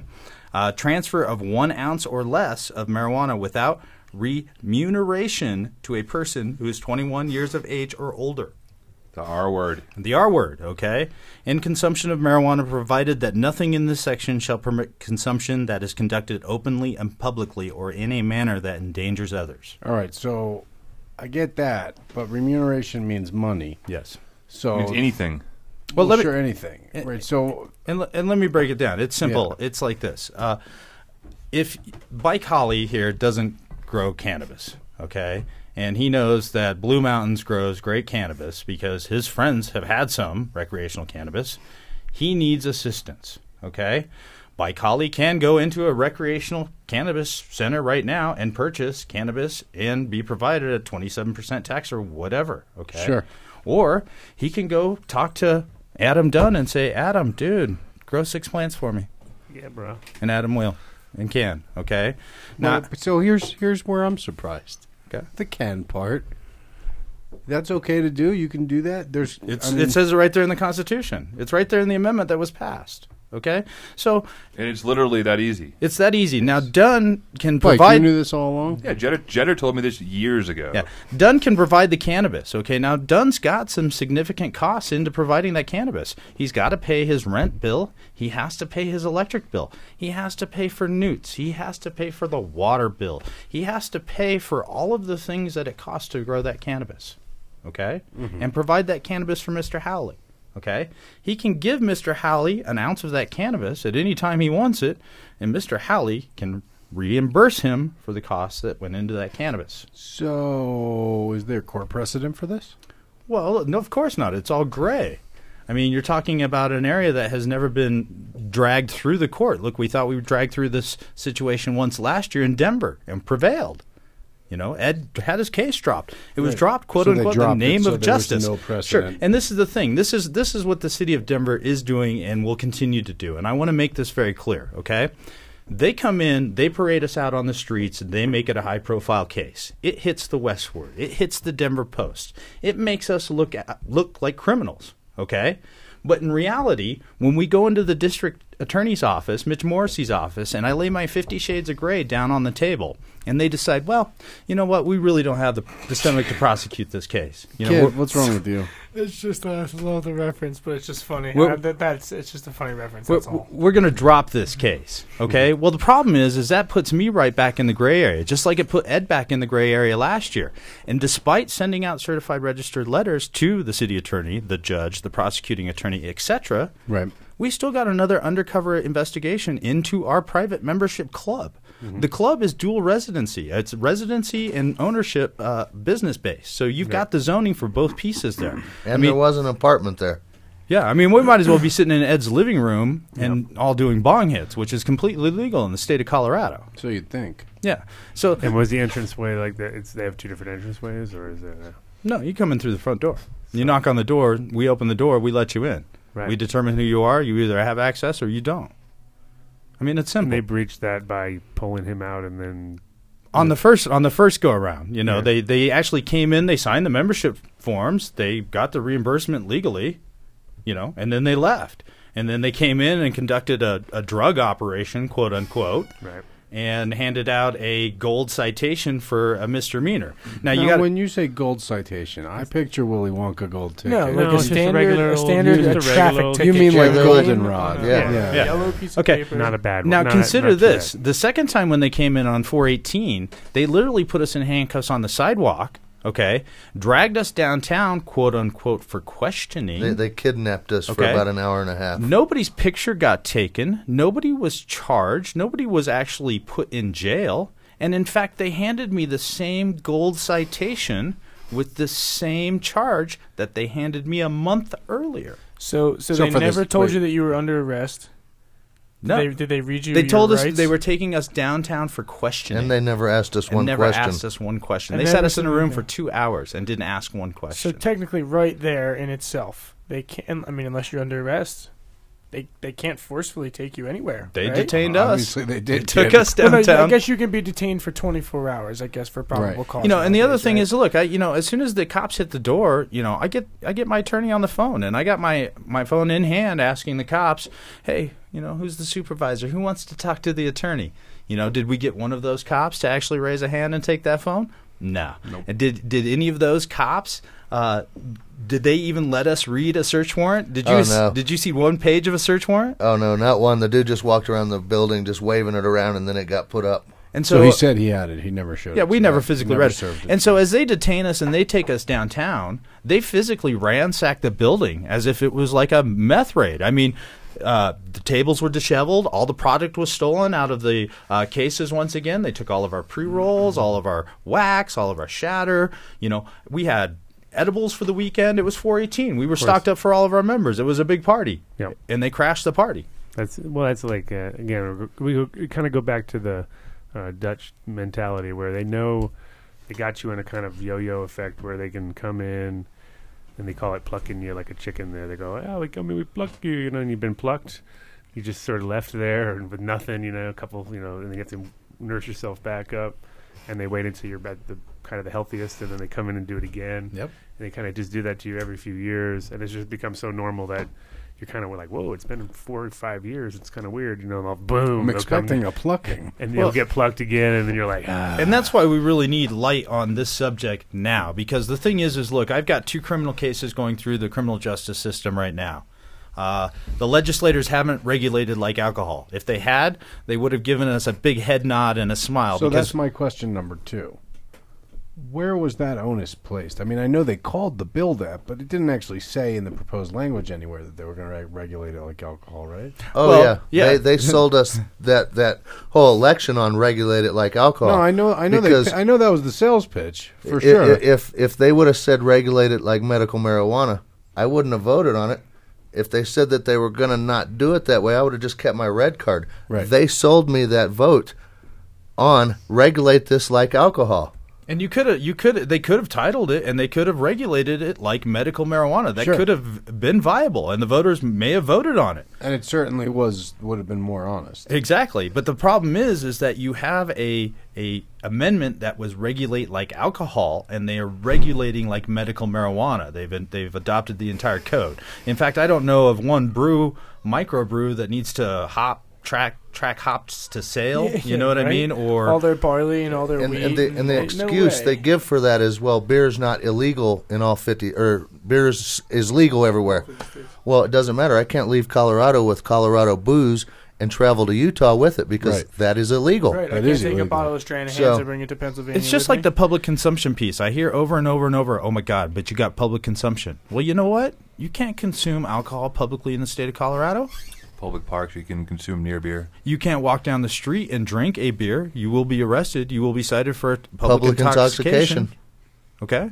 So, by definition, drinking a beer in a bar is not public consumption. no. So, why is smoking cannabis in a in a cannabis bar considered public right. consumption? Clearly, that's not public. Mm, That's not they- and, public. and why is it okay to drink all this alcohol in football games and baseball games and stuff that's definitely in public I can go to Chuck E. Cheese. I can have my four year old running around at my knee level with open beers and Yeah. pitchers flowing, and that's all regulated in the state of Colorado. Yeah, no, Chuck E. Cheese is always a good example if you really want to compare it Chuck to E. anybody. Cheese. Like, hmm, that's kind of a weird mix. I just always found it strange that they chose a like mouse or a rat as their food mascot. But One- it's just, just me. one, one of the good me. things you can compare it to is how the gun laws were voted on down south, and then the government government officials changed the way that worked. They they recalled all those people. Those people lost their jobs. Why aren't we doing that about the weed? Because I voted for it to be regulated like alcohol. And Nothing else. Everybody did, and I think the thing is, is like I think, I think it could have been easy for the legislators to adopt 1284 and say, okay, we're going to start with this, and then move into regulate like alcohol. In other words, provide bar licenses, you know, provide distribution licenses, Right. provide Just come up with the, the immediate transition for the short term, just because it's there right now. Correct. But it's been two years. They've Right. had two legislative sessions, and they're not regulating anything like alcohol. In fact, they're regulating it like medical marijuana, and then they're adding additional scrutinies on top of the medical marijuana code. You know, the, the constitutional amendment also says that they cannot recriminalize marijuana. Okay, they can't introduce any new criminal code in marijuana in the state of Colorado. And and take example, I think it's good to look at alcohol. I mean, look at alcohol in the reserve, uh, reverse position. Who in Colorado is being cited criminally for alcohol? Bars for underage sales, liquor stores Right for now, underage it's right, sales. well, the thing is now they love in the combination of if you have alcohol and you can anybody smokes in your place and then boom, you're. I know, but I, I'm just talking about alcohol specifically. Like, what criminal citations are being handed out for alcohol other than underage drinking and and DUI? You can't think of one, right? Are they are they busting me because I brought you a six pack and you reimbursed me for the cost of that beer and some gas? In fact, he showed Hell up at no. your party, he brought you a case of beer. You had to reimburse him, right? Yeah, no, that I mean that that, that whole like uh, bartender thing too, as far as like, you know, oh yeah, you'll get you'll get busted if someone gets drunk and crashes. It never really happens. You know what I mean? It's Okay, like when does once it ever in a happen? while, Very but rarely. not, but not. and so look look through rarely. look through the looking glass from the other side okay if marijuana is regulated like alcohol then alcohol is regulated like marijuana in the state of colorado right should be. yeah, that well that that that is the theory right i mean you should basically be able to look at it both ways i mean if they are alike Oh, and yeah. so there's there's so many examples within the alcohol industry like for example have you ever seen a coors light with a child-proof cap mm. yeah, or, or even those things like- are hard to open though. Or even if like you have little kid hands, even doing tasters, doing tasters at liquor stores. Have what I you ever Like, seen- and like, Right. hey, try this. have you seen a know, like- child-proof exit bag as you're leaving Tipsy's Have you ever went into a liquor your store and the guy at the counter tell you, "Oh, I can't sell you more than a six pack"? Yeah, exactly. You got an out of state ID. I can only sell you a shot today, sir. Right.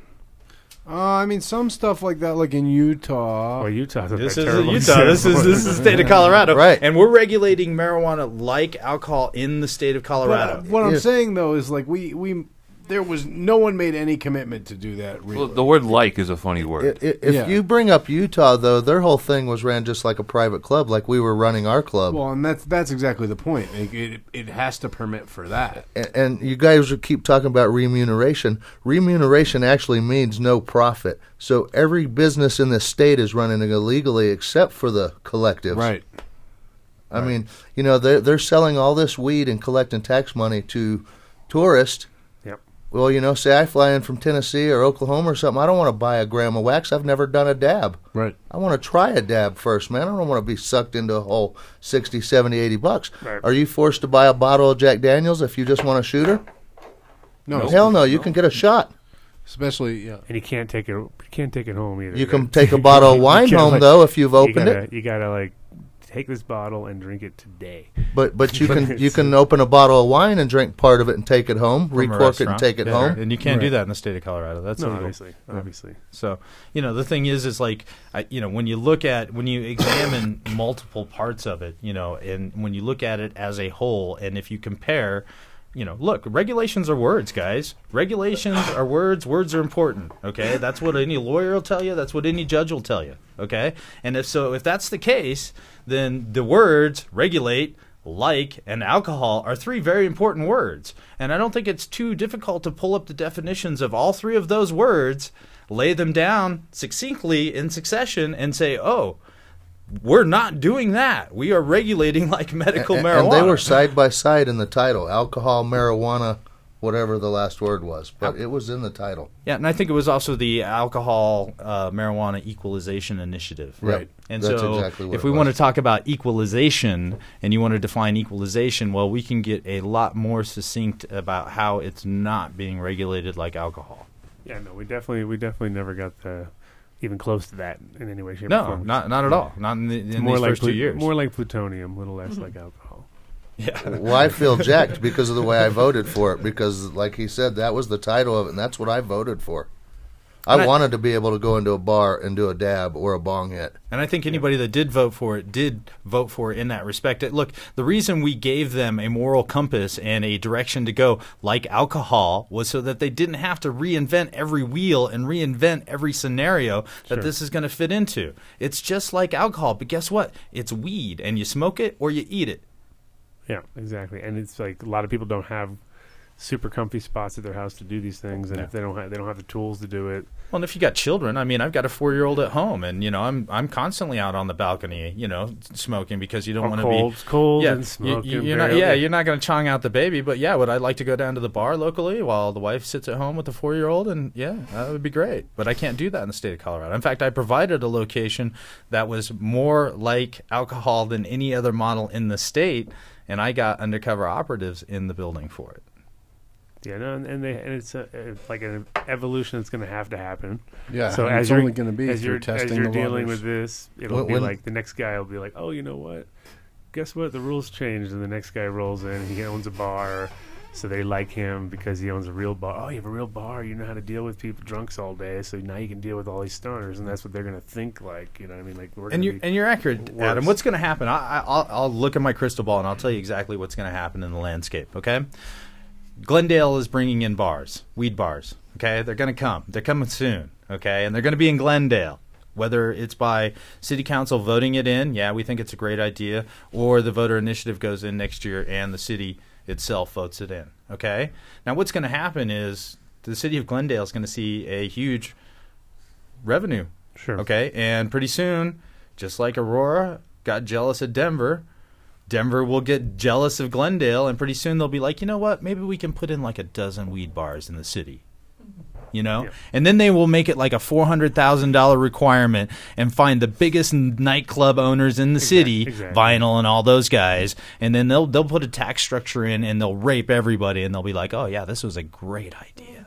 of course, and like years later, and then, but at the same time, be overly restrictive around those places for anybody else who's like not abiding by the rules and stuff, and they'll be really harsh, more harsh on that because they know that it's like a like it's like getting a ticket downtown. I can't believe it how fast I get one in my car now. I'm like, go go down there, run inside to grab one thing, come out, and it's like Now what the fuck is there a ticket for? I paid the meter. I did.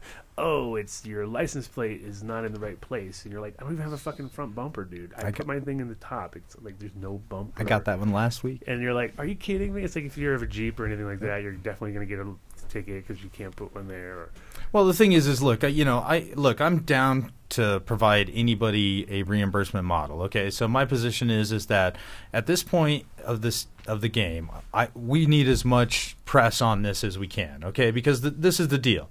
Everybody's got to be aware of what Denver's doing and how they're doing it. Look, they started threatening uh, bars with their liquor licenses through excise and licensing. Okay, well, we didn't have a liquor license, so we didn't have a liquor license to threat. So they had to turn around and do nuisance and abatement, which is exactly what they did to us in grassroots. Okay, we haven't even had our court dates yet, and they're already filing nuisance and abatement, char- you know, charges. They're already having Ryan evicted too. yeah, and so, so I was just going to read read that article. We were trying to get Ryan on the phone today. Did you hear back from him, Adam? no, I didn't get back to me. No. He's a Oh, busy maybe man. that's him right now. Right now. Yeah. That's 206 though. Let's bring him on. Looks like Washington. Washington. Oh, it must be Oh, could be seats here now. C3 now. C3 now. Bringing us an Alaska Cup date. Crackle, crackle. You made it. Nice. Yeah, it took a little Cool. minute. Hey. Hey. You got us, kid. Welcome to the Adam Dunn Show. Yo, yo, who we got there? Go ahead. Can, you should be able to hear Do us. do we? Hello, caller. Can you hear us? Hmm. Hello. Hello. hear can you. you hear us? We can hear you. Yeah, I got you. Nice. We got you. What's going on? What What's going on, man? Crank it up a little bit. Introduce yourself. Break Break us. Oh. Break us your update. My bad. Is this I was just in the front is this a- room, and so I had the, the radio on, so I had to come in the bathroom. Uh, this is James and CJ now, uh, bringing you the Alaska, the Great Alaskan Cup date. Alaskan Cup. Um, yeah. So, what cup are you at up there? Uh, actually, it's the Northwest Cannabis Classic. Uh, it's the first of three shows. Uh, it's a newer company, uh, put out by Corry's, really nice guy. Uh, they've done it really professionally. Um, what they're, what they, uh, what, what it seems to me like they're aiming at is uh, the three recreational northwestern states. So they have Oregon, um, they've got Seattle coming up. Uh, although Washington just pulled some major uh, illegal law crap. Um, but that's the plan is that to do, to do the three northwestern states, and then the winner of this cup goes on to compete against the winner of that cup, and it's kind of a, a cool little setup.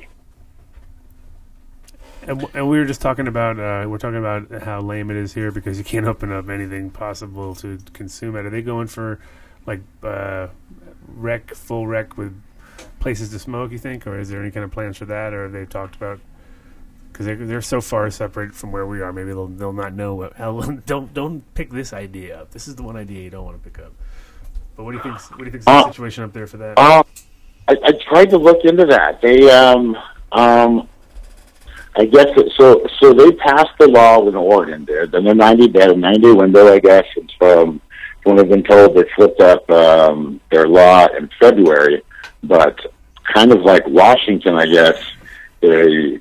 Um, it's run by the liquor board, and so when you put the drunks in charge of the stoners and let your competition write your laws, they kind of drag their feet and uh, I guess they haven't put the, implemented the right processes to put the right mechanisms into place. And so currently, um, it's the gray area. You can possess up to an ounce.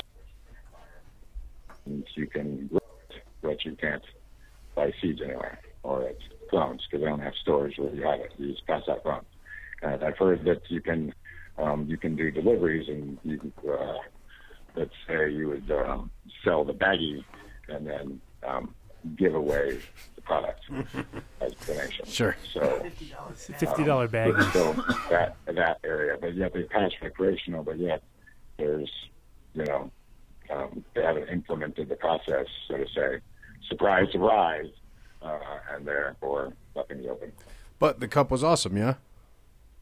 The cup was awesome. Uh, I was really uh, surprised. I, um, I missed my first flight. Um, if you know me, I usually try to get there about half hour before I'm supposed to fly out, and uh, well, this time I missed it, so it cost me a little extra bucks to go. But uh, it was well worth it. It was really nice. It was like I call uh, khakis and uh, and polos on carpet. It was uh, kind of like a more industrial trade show. So um, instead of just um, free joints and dabs and T-shirts, And DEA it was agents. more business and ATMs and uh, industry and lights and uh, nutrients and some local trim guys and some local uh, dispensaries, and this was pretty all right. Cool. Um, but they did they did a competition still, right? Like a, a proper cup oh, sort correct. of They thing. had, a, they had a full-on uh, competition that had um, uh, concentrates, flour, um, hybrid, sativa, all that good stuff as well. Nice, nice. So, did you get to try sample any of the, the entries? How were they? Were, were there any interesting trends being so disconnected from us here in the lower forty-eight? Um, I, I did try some of the entries. Uh, the- some of them were nice. Um, of course, I asked everybody if you had Matanuska Benefic, Of or course. if you had the ATF, and every, everybody had it. And I was like, no, don't. No, everybody had jar. it. Me a jar. So I still, I'm still on the great hunt. Um, I've heard some very, very interesting stories that could um, almost take the Alaska show uh, all over again. Um, but the strains that were won, um, the first place for uh, Indica was Justin, I believe, or excuse me, it was Brandon with uh, it was Bodhi's ATF. Um, then Justin from Green Dream Farms took first for his Tangerine Diesel on the concentrates. And then uh, my guy Evan uh, took Sativa and Hybrid, which uh, I'll get them on the horn here soon. And he uh, was really, really good with his berry breath. And then his orange juice, which Nice. I was like, orange juice? Wait a minute. Wait a minute. Nice. So I had to go inquire, made a quick text. Uh, and then my inquiry led to it was Gage Green's orange juice, not franchise orange juice. Interesting. Uh, cool. The one that we had put uh, cease and desist on. So I get those guys in, on the phone and let them holler about that. But yeah, it was, uh, it was really nice. Um, I, I asked them if they was, if I was on like a kind of nice weather streak, but the weather's been not too bad. Um, I guess it, of course it snows like hell up here, but I, I, I watched the show. But uh, it was, it's been it's been nice. The people are really nice. Uh, the hotel rates are expensive as hell, but Are there polar bears? The place is cool. I, I drove up to the No, the no, the pictures that um, he posted looked beautiful. It didn't look all snowy and miserable. I saw one of the pictures he posted and it looked beautiful there. There was no polar bears. I mean, uh, there are polar bears in Alaska, I would assume, but not in. It would have to be like in the areas closer to Antarctica. It You got to wouldn't get one of those hats, those polar bear hat things. Not the real ones, but just big stupid fake I- one. Well, I, I, yeah, I, big I stupid tried to fake get one. you a penguin, like we talked about. Any But penguins? They, um, they didn't. They at first, you know, I'm kind of a serious smartass, and so at first, one guy thought I was serious. And He was like, "Oh, are you here for a zoo, or do you want to go on a tour? Where do you find to get this penguin?" And I was like, "I don't know. I'm here. You're supposed to tell me." Um, and then he went into his spiel. I was like, "No, no, dude, I'm joking." He's like, "Oh, oh, oh." He's like, "Oh, we ship everything. Bears." I was like, "No, my friend wanted a penguin." Guy wants. So you found the right hustle. You- You found, found the guy who could get guy. us a baby anything we wanted. Baby anything. Pretty Give me- much. Polar bear. Pretty much. A baby everything. I, I told him I was just like, I Yeah. wanted just a Definitely need a polar bear down here. I was pushing it. I was on the wrong, wrong area.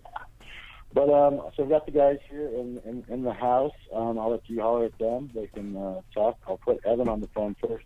He took uh, two first place uh, uh, trophies home, which is pretty all right. I think. Yeah, nice. Right Um, on. One, Thank- one was, um, like I said, the orange juice, which uh, has history behind it, and then the other one has some THC lineage behind it, um, and uh, and then one of them is a personal strain. So I'll put him on the phone right now. Cool. Evan, actually.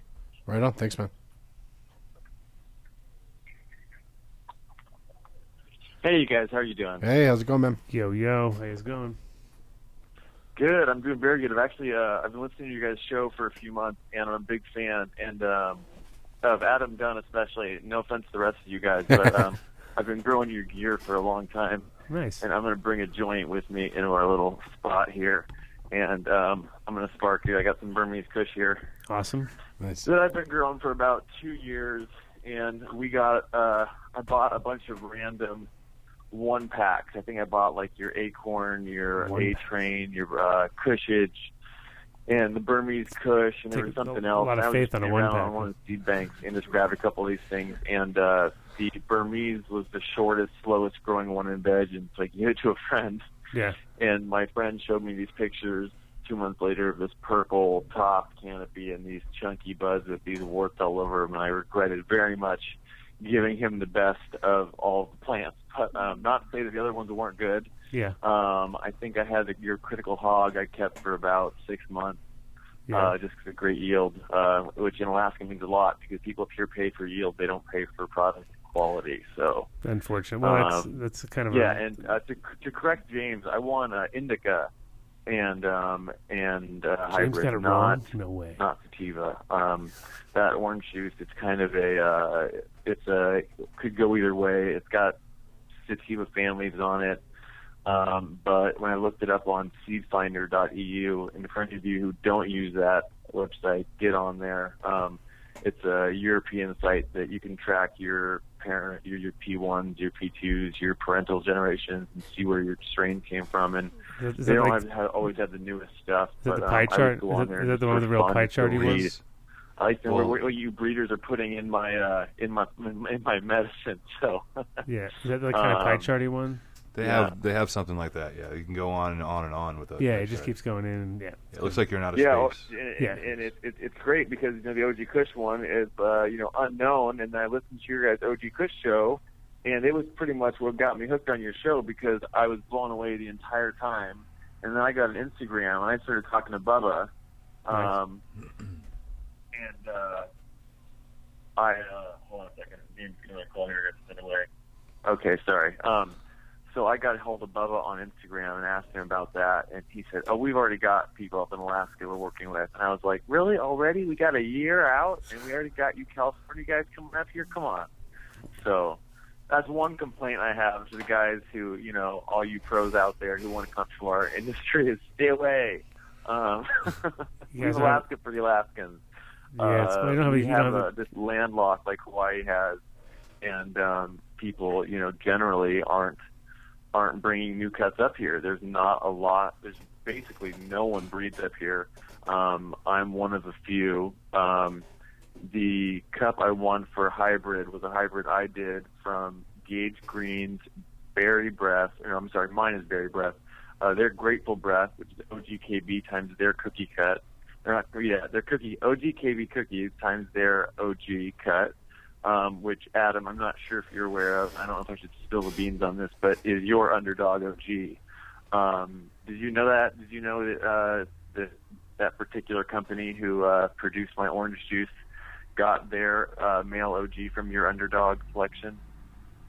No, no. I mean, um, I wouldn't wouldn't doubt. Not surprised, Wouldn't not wouldn't surprised. surprise me. No.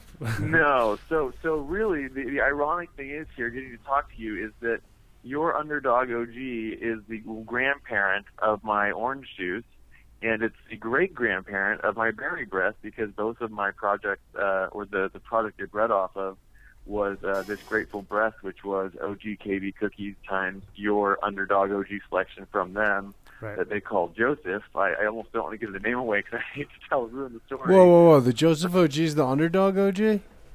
Yep. I, I hope I'm not ruining this for anybody because Gage, Gage Green's been very good to me. They've sent me hundreds and hundreds of dollars of testers, and uh, I have an email to verify it. I don't know if I should tell anybody.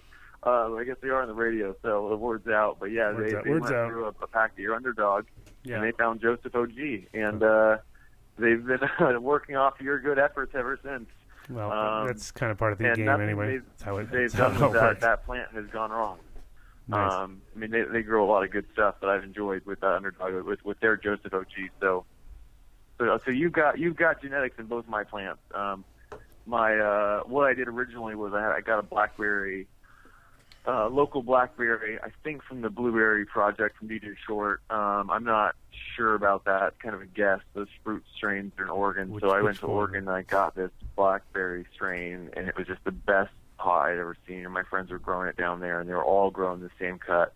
And uh, I, I brought it back with me to Alaska. I'm not going to say how because of legal reasons, um, but it, it got back here somehow. And uh, after three days without seeing any light, um, and uh, it got it got put in uh, some cubes and rooted. And um, I thought since it was so good, I wanted to preserve it, and I threw some pollen on it, just a regular old pollen checker from a Goji OG from uh, Bodhi seeds, and um, ended up with uh, blackberry OG. Then I did an open pollination with 17 other strains from Oregon. I just I went nuts. I went down there last year, and um, I went crazy and uh, got a bunch of cuts, and this was these these two. That one was, turned out pretty well. So I hope I guess the next cut I do will uh, be uh, good, and I can win an award for that too. I don't know. We'll see. I at least had a good parent, and uh, thank you, um, Adam, for producing such a good underdog OG. And um, if I have an MTF story for you, if you want it, but I think my time I'm almost out of time. Uh, I'm going to tell the MTF story, and then I'm going to get the phone back to James. Yeah, do it, do it, do it. MTF. What? Tell, tell later. I'm going to tell later. Okay, here's here's here's James back. I got time schedule. I got time schedule. All right, so I got to give a shout out real quick to The Father Labs. I got gas, be my seeds, TH seeds, of course. Uh, I just added Mosca seeds. Um, of course, they've got that Skinny 99 male that they're working with. Uh, West Coast Genetics, Exotic Genetics. Um, shout out to Tanner from AU uh, he, with his awards at High Times and Exotic for their what I can only describe as Coke-like uh, dry sift. Um, was phenomenal. Only Uh, describe Mike it. at, uh, Is that the only way? Is that the only way you could describe it? No Is that the other only way to to describe Could have said meth. Could have said at least meth. Could have Coke-like. said uh, meth. And It's very meth Coke-like. Very meth-like, Coke-like. Wa- was it not very Coke-like to you guys? I mean, I've never seen the product, of course, only on TV, but it looked like for like Coke would look like. and I don't know. Like, like baking soda, right? Yeah, yeah, like baking soda. Uh, others. Uh, shout out to Tanner, of course, with his propane uh, over at AU. Um, you know, I'm a propane green. So right now I'm going to put you on the horn with uh, Justin at Green Green, um, Green Green Farms. Uh, here you go. What's up, guys? How's it going, Justin? Hey, Justin, what's going down? Oh, pretty uh, pretty good. Uh, first time on the show, and uh, I just got got to say I've been listening for a little bit here, and it's a pretty good show. Awesome. Thanks, Uh, man. Pretty excited to be on. Awesome. Thank you. So tell us about your entry that you won with. So uh, I won with uh, Tangerine Diesel. Uh, Tangerine Diesel was um, I took a Fem from uh, let's see here that came from Reserva Privada. They're uh, Tangy, and uh, I took a male from I believe that was Reefer Man Sour Diesel, and I bred those two together, and uh, that's actually the cup. That's what won up here. They they they loved that tangy taste, and it followed up with that diesel, and it just uh, freaked them out, I guess. they said they loved it. Nice. How long have you been growing that? Um, in Alaska, let's see here, about ten years. How- um, how about we've that been up one? Here about that long, but uh, I'm actually a Southern Idaho boy, and uh, was growing down there in corn, cornfields for uh, quite some time before we moved to Alaska. So, Nice. um, but uh, huge fan of uh, TH seeds. Got to say, uh, love uh, Sage and Sour. Love Critical Hog. Uh, love the Dark Star. Uh, Nice. It rocks. Good, good, good stuff there. Sweet, sweet. Good to hear. There's all uh, so, some things up there at least. You know. Yeah. Yeah. That sounds like people. There's a few. People really digging you up in Alaska. You should go. I, I up, need to get up there. I need to get up there for sure. No, I was going to go on this trip with uh, James. That was my original plan, but it kind of came up real quick. So next time for sure. It sounds like a, it was the only it was the only cup that didn't get hassled this time. So it was perfect. Too cold polar bears. Cops Too- hate polar bears. Definitely. Yeah, it, it actually worked out really well. Uh, um, actually, a couple of seed companies actually got hassled by the event center, and the uh, the chief of police actually came in and said, "No, they can sell their seed. They're all good." So it was uh, Nice it was little actually reversal. uh, quite a different scene than what uh, you guys were talking about in Nevada. Alaska, nice. Nice to hear. Nice to hear. Right on. So- Well, uh, anything else you want to include? Share with our audience. Uh, I I- think. I think that's about all I had. Just uh, kind of wanted to say, uh, give a word out for Alaska, and hopefully uh, we keep doing it right. Yeah, right on. We definitely want to. I think try some of that. That Tangy Diesel sounds good. Sounds nice. Sounds nice. Yeah, we'll, we'll come up. You guys will always be welcome here. Nice. Oh, we'll be up there. We'll be up there for sure. We're doing Alaska event for sure. Just Yeah. because that's g- never, you know, I love new places they haven't been to. It's like, and that's, Alaska's one of those spots because Polar bears. everyone always has preconceptions of everything. Cool. Thank you very much. right. Well, thanks for well, co- cool. thanks Well, for checking thank in. you guys for having me on the show. Yep. Right on. Thank you. Oh, bike killing it from the bottle back there. Two liters Two Sprite liters of hidden Sprite. behind the screen. Also, want to shout out real quick to uh, D- Dark House. Uh, excuse, excuse me. Fuck. Duck house. Duck house. Duck- I don't know. duck Duck house. house. The mighty ducks. We Quack, uh, quack. caffeine in his hot box right now. Um, Dark Horse Genetic. Never heard of There him. Never heard of him. Never heard of him. I've got both winners that are requesting uh, some banner packs of the King banner. I know Jason's in the house. Uh, Jason's everywhere, so I'm surprised he's anywhere right now. There's Uh, He can't hear you either. those. It's true. Uh, we're also looking. We're waiting for a phone call from coming in from the first place Sativa. Uh, he'll be coming in, uh, calling, and then uh, so if that call comes in on Skype, that's him. Um, cool. That's Brandon, the Alaskan grower, uh, with a Bodhi Seed uh, ATF cut, which I was like, oh, that's nice. But right now, I'm going to put you on the phone with Evan and tell them he's going to tell you a little bit about his uh, eight, uh, MTF story. But if uh, the phone rings coming in from Skype, that's the other guy. All right. Cool. Sounds good. And I talk a lot, so if you need to jump in and ask a question, just do it. Um, as you noticed when I got on the phone there, I just kind of went with it. So uh, when Brandon calls in, and shut me up, or if I get out of line or you got a question, shut me up. Um, so the real MTF story, I wrote you guys, I wrote you guys an email when I heard you were doing your Alaska show, and um, I don't know if you just didn't read it or if it was too late, you know, or something like that. But I said, whoa, whoa, whoa, you guys are going to be doing the MTF story. Um, let me send you some info on this. And I wrote a little, a couple paragraphs, and the message was probably too long, but I don't know. um, Sometimes it gets lost in the spam. We may not have seen that. Tell tell me more. Yeah, it was. It was just. It was to your info at the Adam Dunn. Yeah, sometimes that stuff you know, gets dot com. spam boxed. It doesn't know. Um, it's pretty dumb. So sometimes we'll go through the spam box and find old gems, but but I, I Yeah, we tell found some me. good ones very late at night. When yeah, but, like, what but the I don't know that this one may have slipped through the radar. So this MTF thing, um, I, I grew up here. I've been here since '82. I know a lot of old timers up here, and they've grown a lot of strains that are Northern Lights based strains, um, or that have uh, their roots in maybe an early skunk. Um, you know, when HID lights came out, uh, everybody started going indoors in the 80s because you, you couldn't grow up here out, outdoor. Uh, people would do a light dip where they'd they'd do a pl- plant or two outdoors on like a uh, truck bed thing, or not truck bed, but like a pull, you know, pull your four wheeler out of, of the barn, pull it back in, you know, kind of do light depth thing for a for an outdoor grow. Um, but um, the MTF was specifically when weed first got frosty up here, and it started coming out of the valley. And so we've got the pipeline coming up here, and there's millions and millions of dollars pouring in, and there's more money for drugs and girls and whatever you want. If you got a job on the slope and you're getting paid, you know, who God knows how much an hour or a week, you know, for working full time. These guys would all go up work for two weeks and they all come back and they blow all their money. So they had money for the, the nicest pot around. And the nicest pot around was someone had taken this Northern Lights cut and they'd probably crossed it with a skunk or crossed it with something and they put frost on it. And out of this this frosted cut that was in the valley, there were four or five sisters or something like that. And so pretty much it was just that any time someone was getting really good weed out of the valley, they were just calling it MTF. Just like you guys were talking about that Kush bud when you did your OG Kush episode. I was like, oh my god, that's the same thing. You know, the, the chronic, the crippy, the uh, you know the. It was that. It was the kryptonite. I mean, it was just. It, it was just a good weed. It was the MTF. Um, and it just so happened to be that the valley is the cultivation area, as you guys mentioned in your last uh, episode, and um, it's uh, got it's a great place. Everybody's got a lot of space from each other. It's a great place to grow, um, even indoors, uh, outdoors. We've got hundred, multi hundred pound pumpkins and um, cabbages uh, out in the valley, but also there's a really great group of uh, cannabis growers who've been doing it for the last 30 years. And um, once they were figured out how to put frost on the flower, they started getting uh, some. Uh, they started we call it MTF. Um, but if you grab any random cut up here, and there's a lot of bad ones, there's tons of bad genetics up here, which is why I started breeding because I saw there were nicer plants out there, and I said, "What the shit am I growing this stuff for?"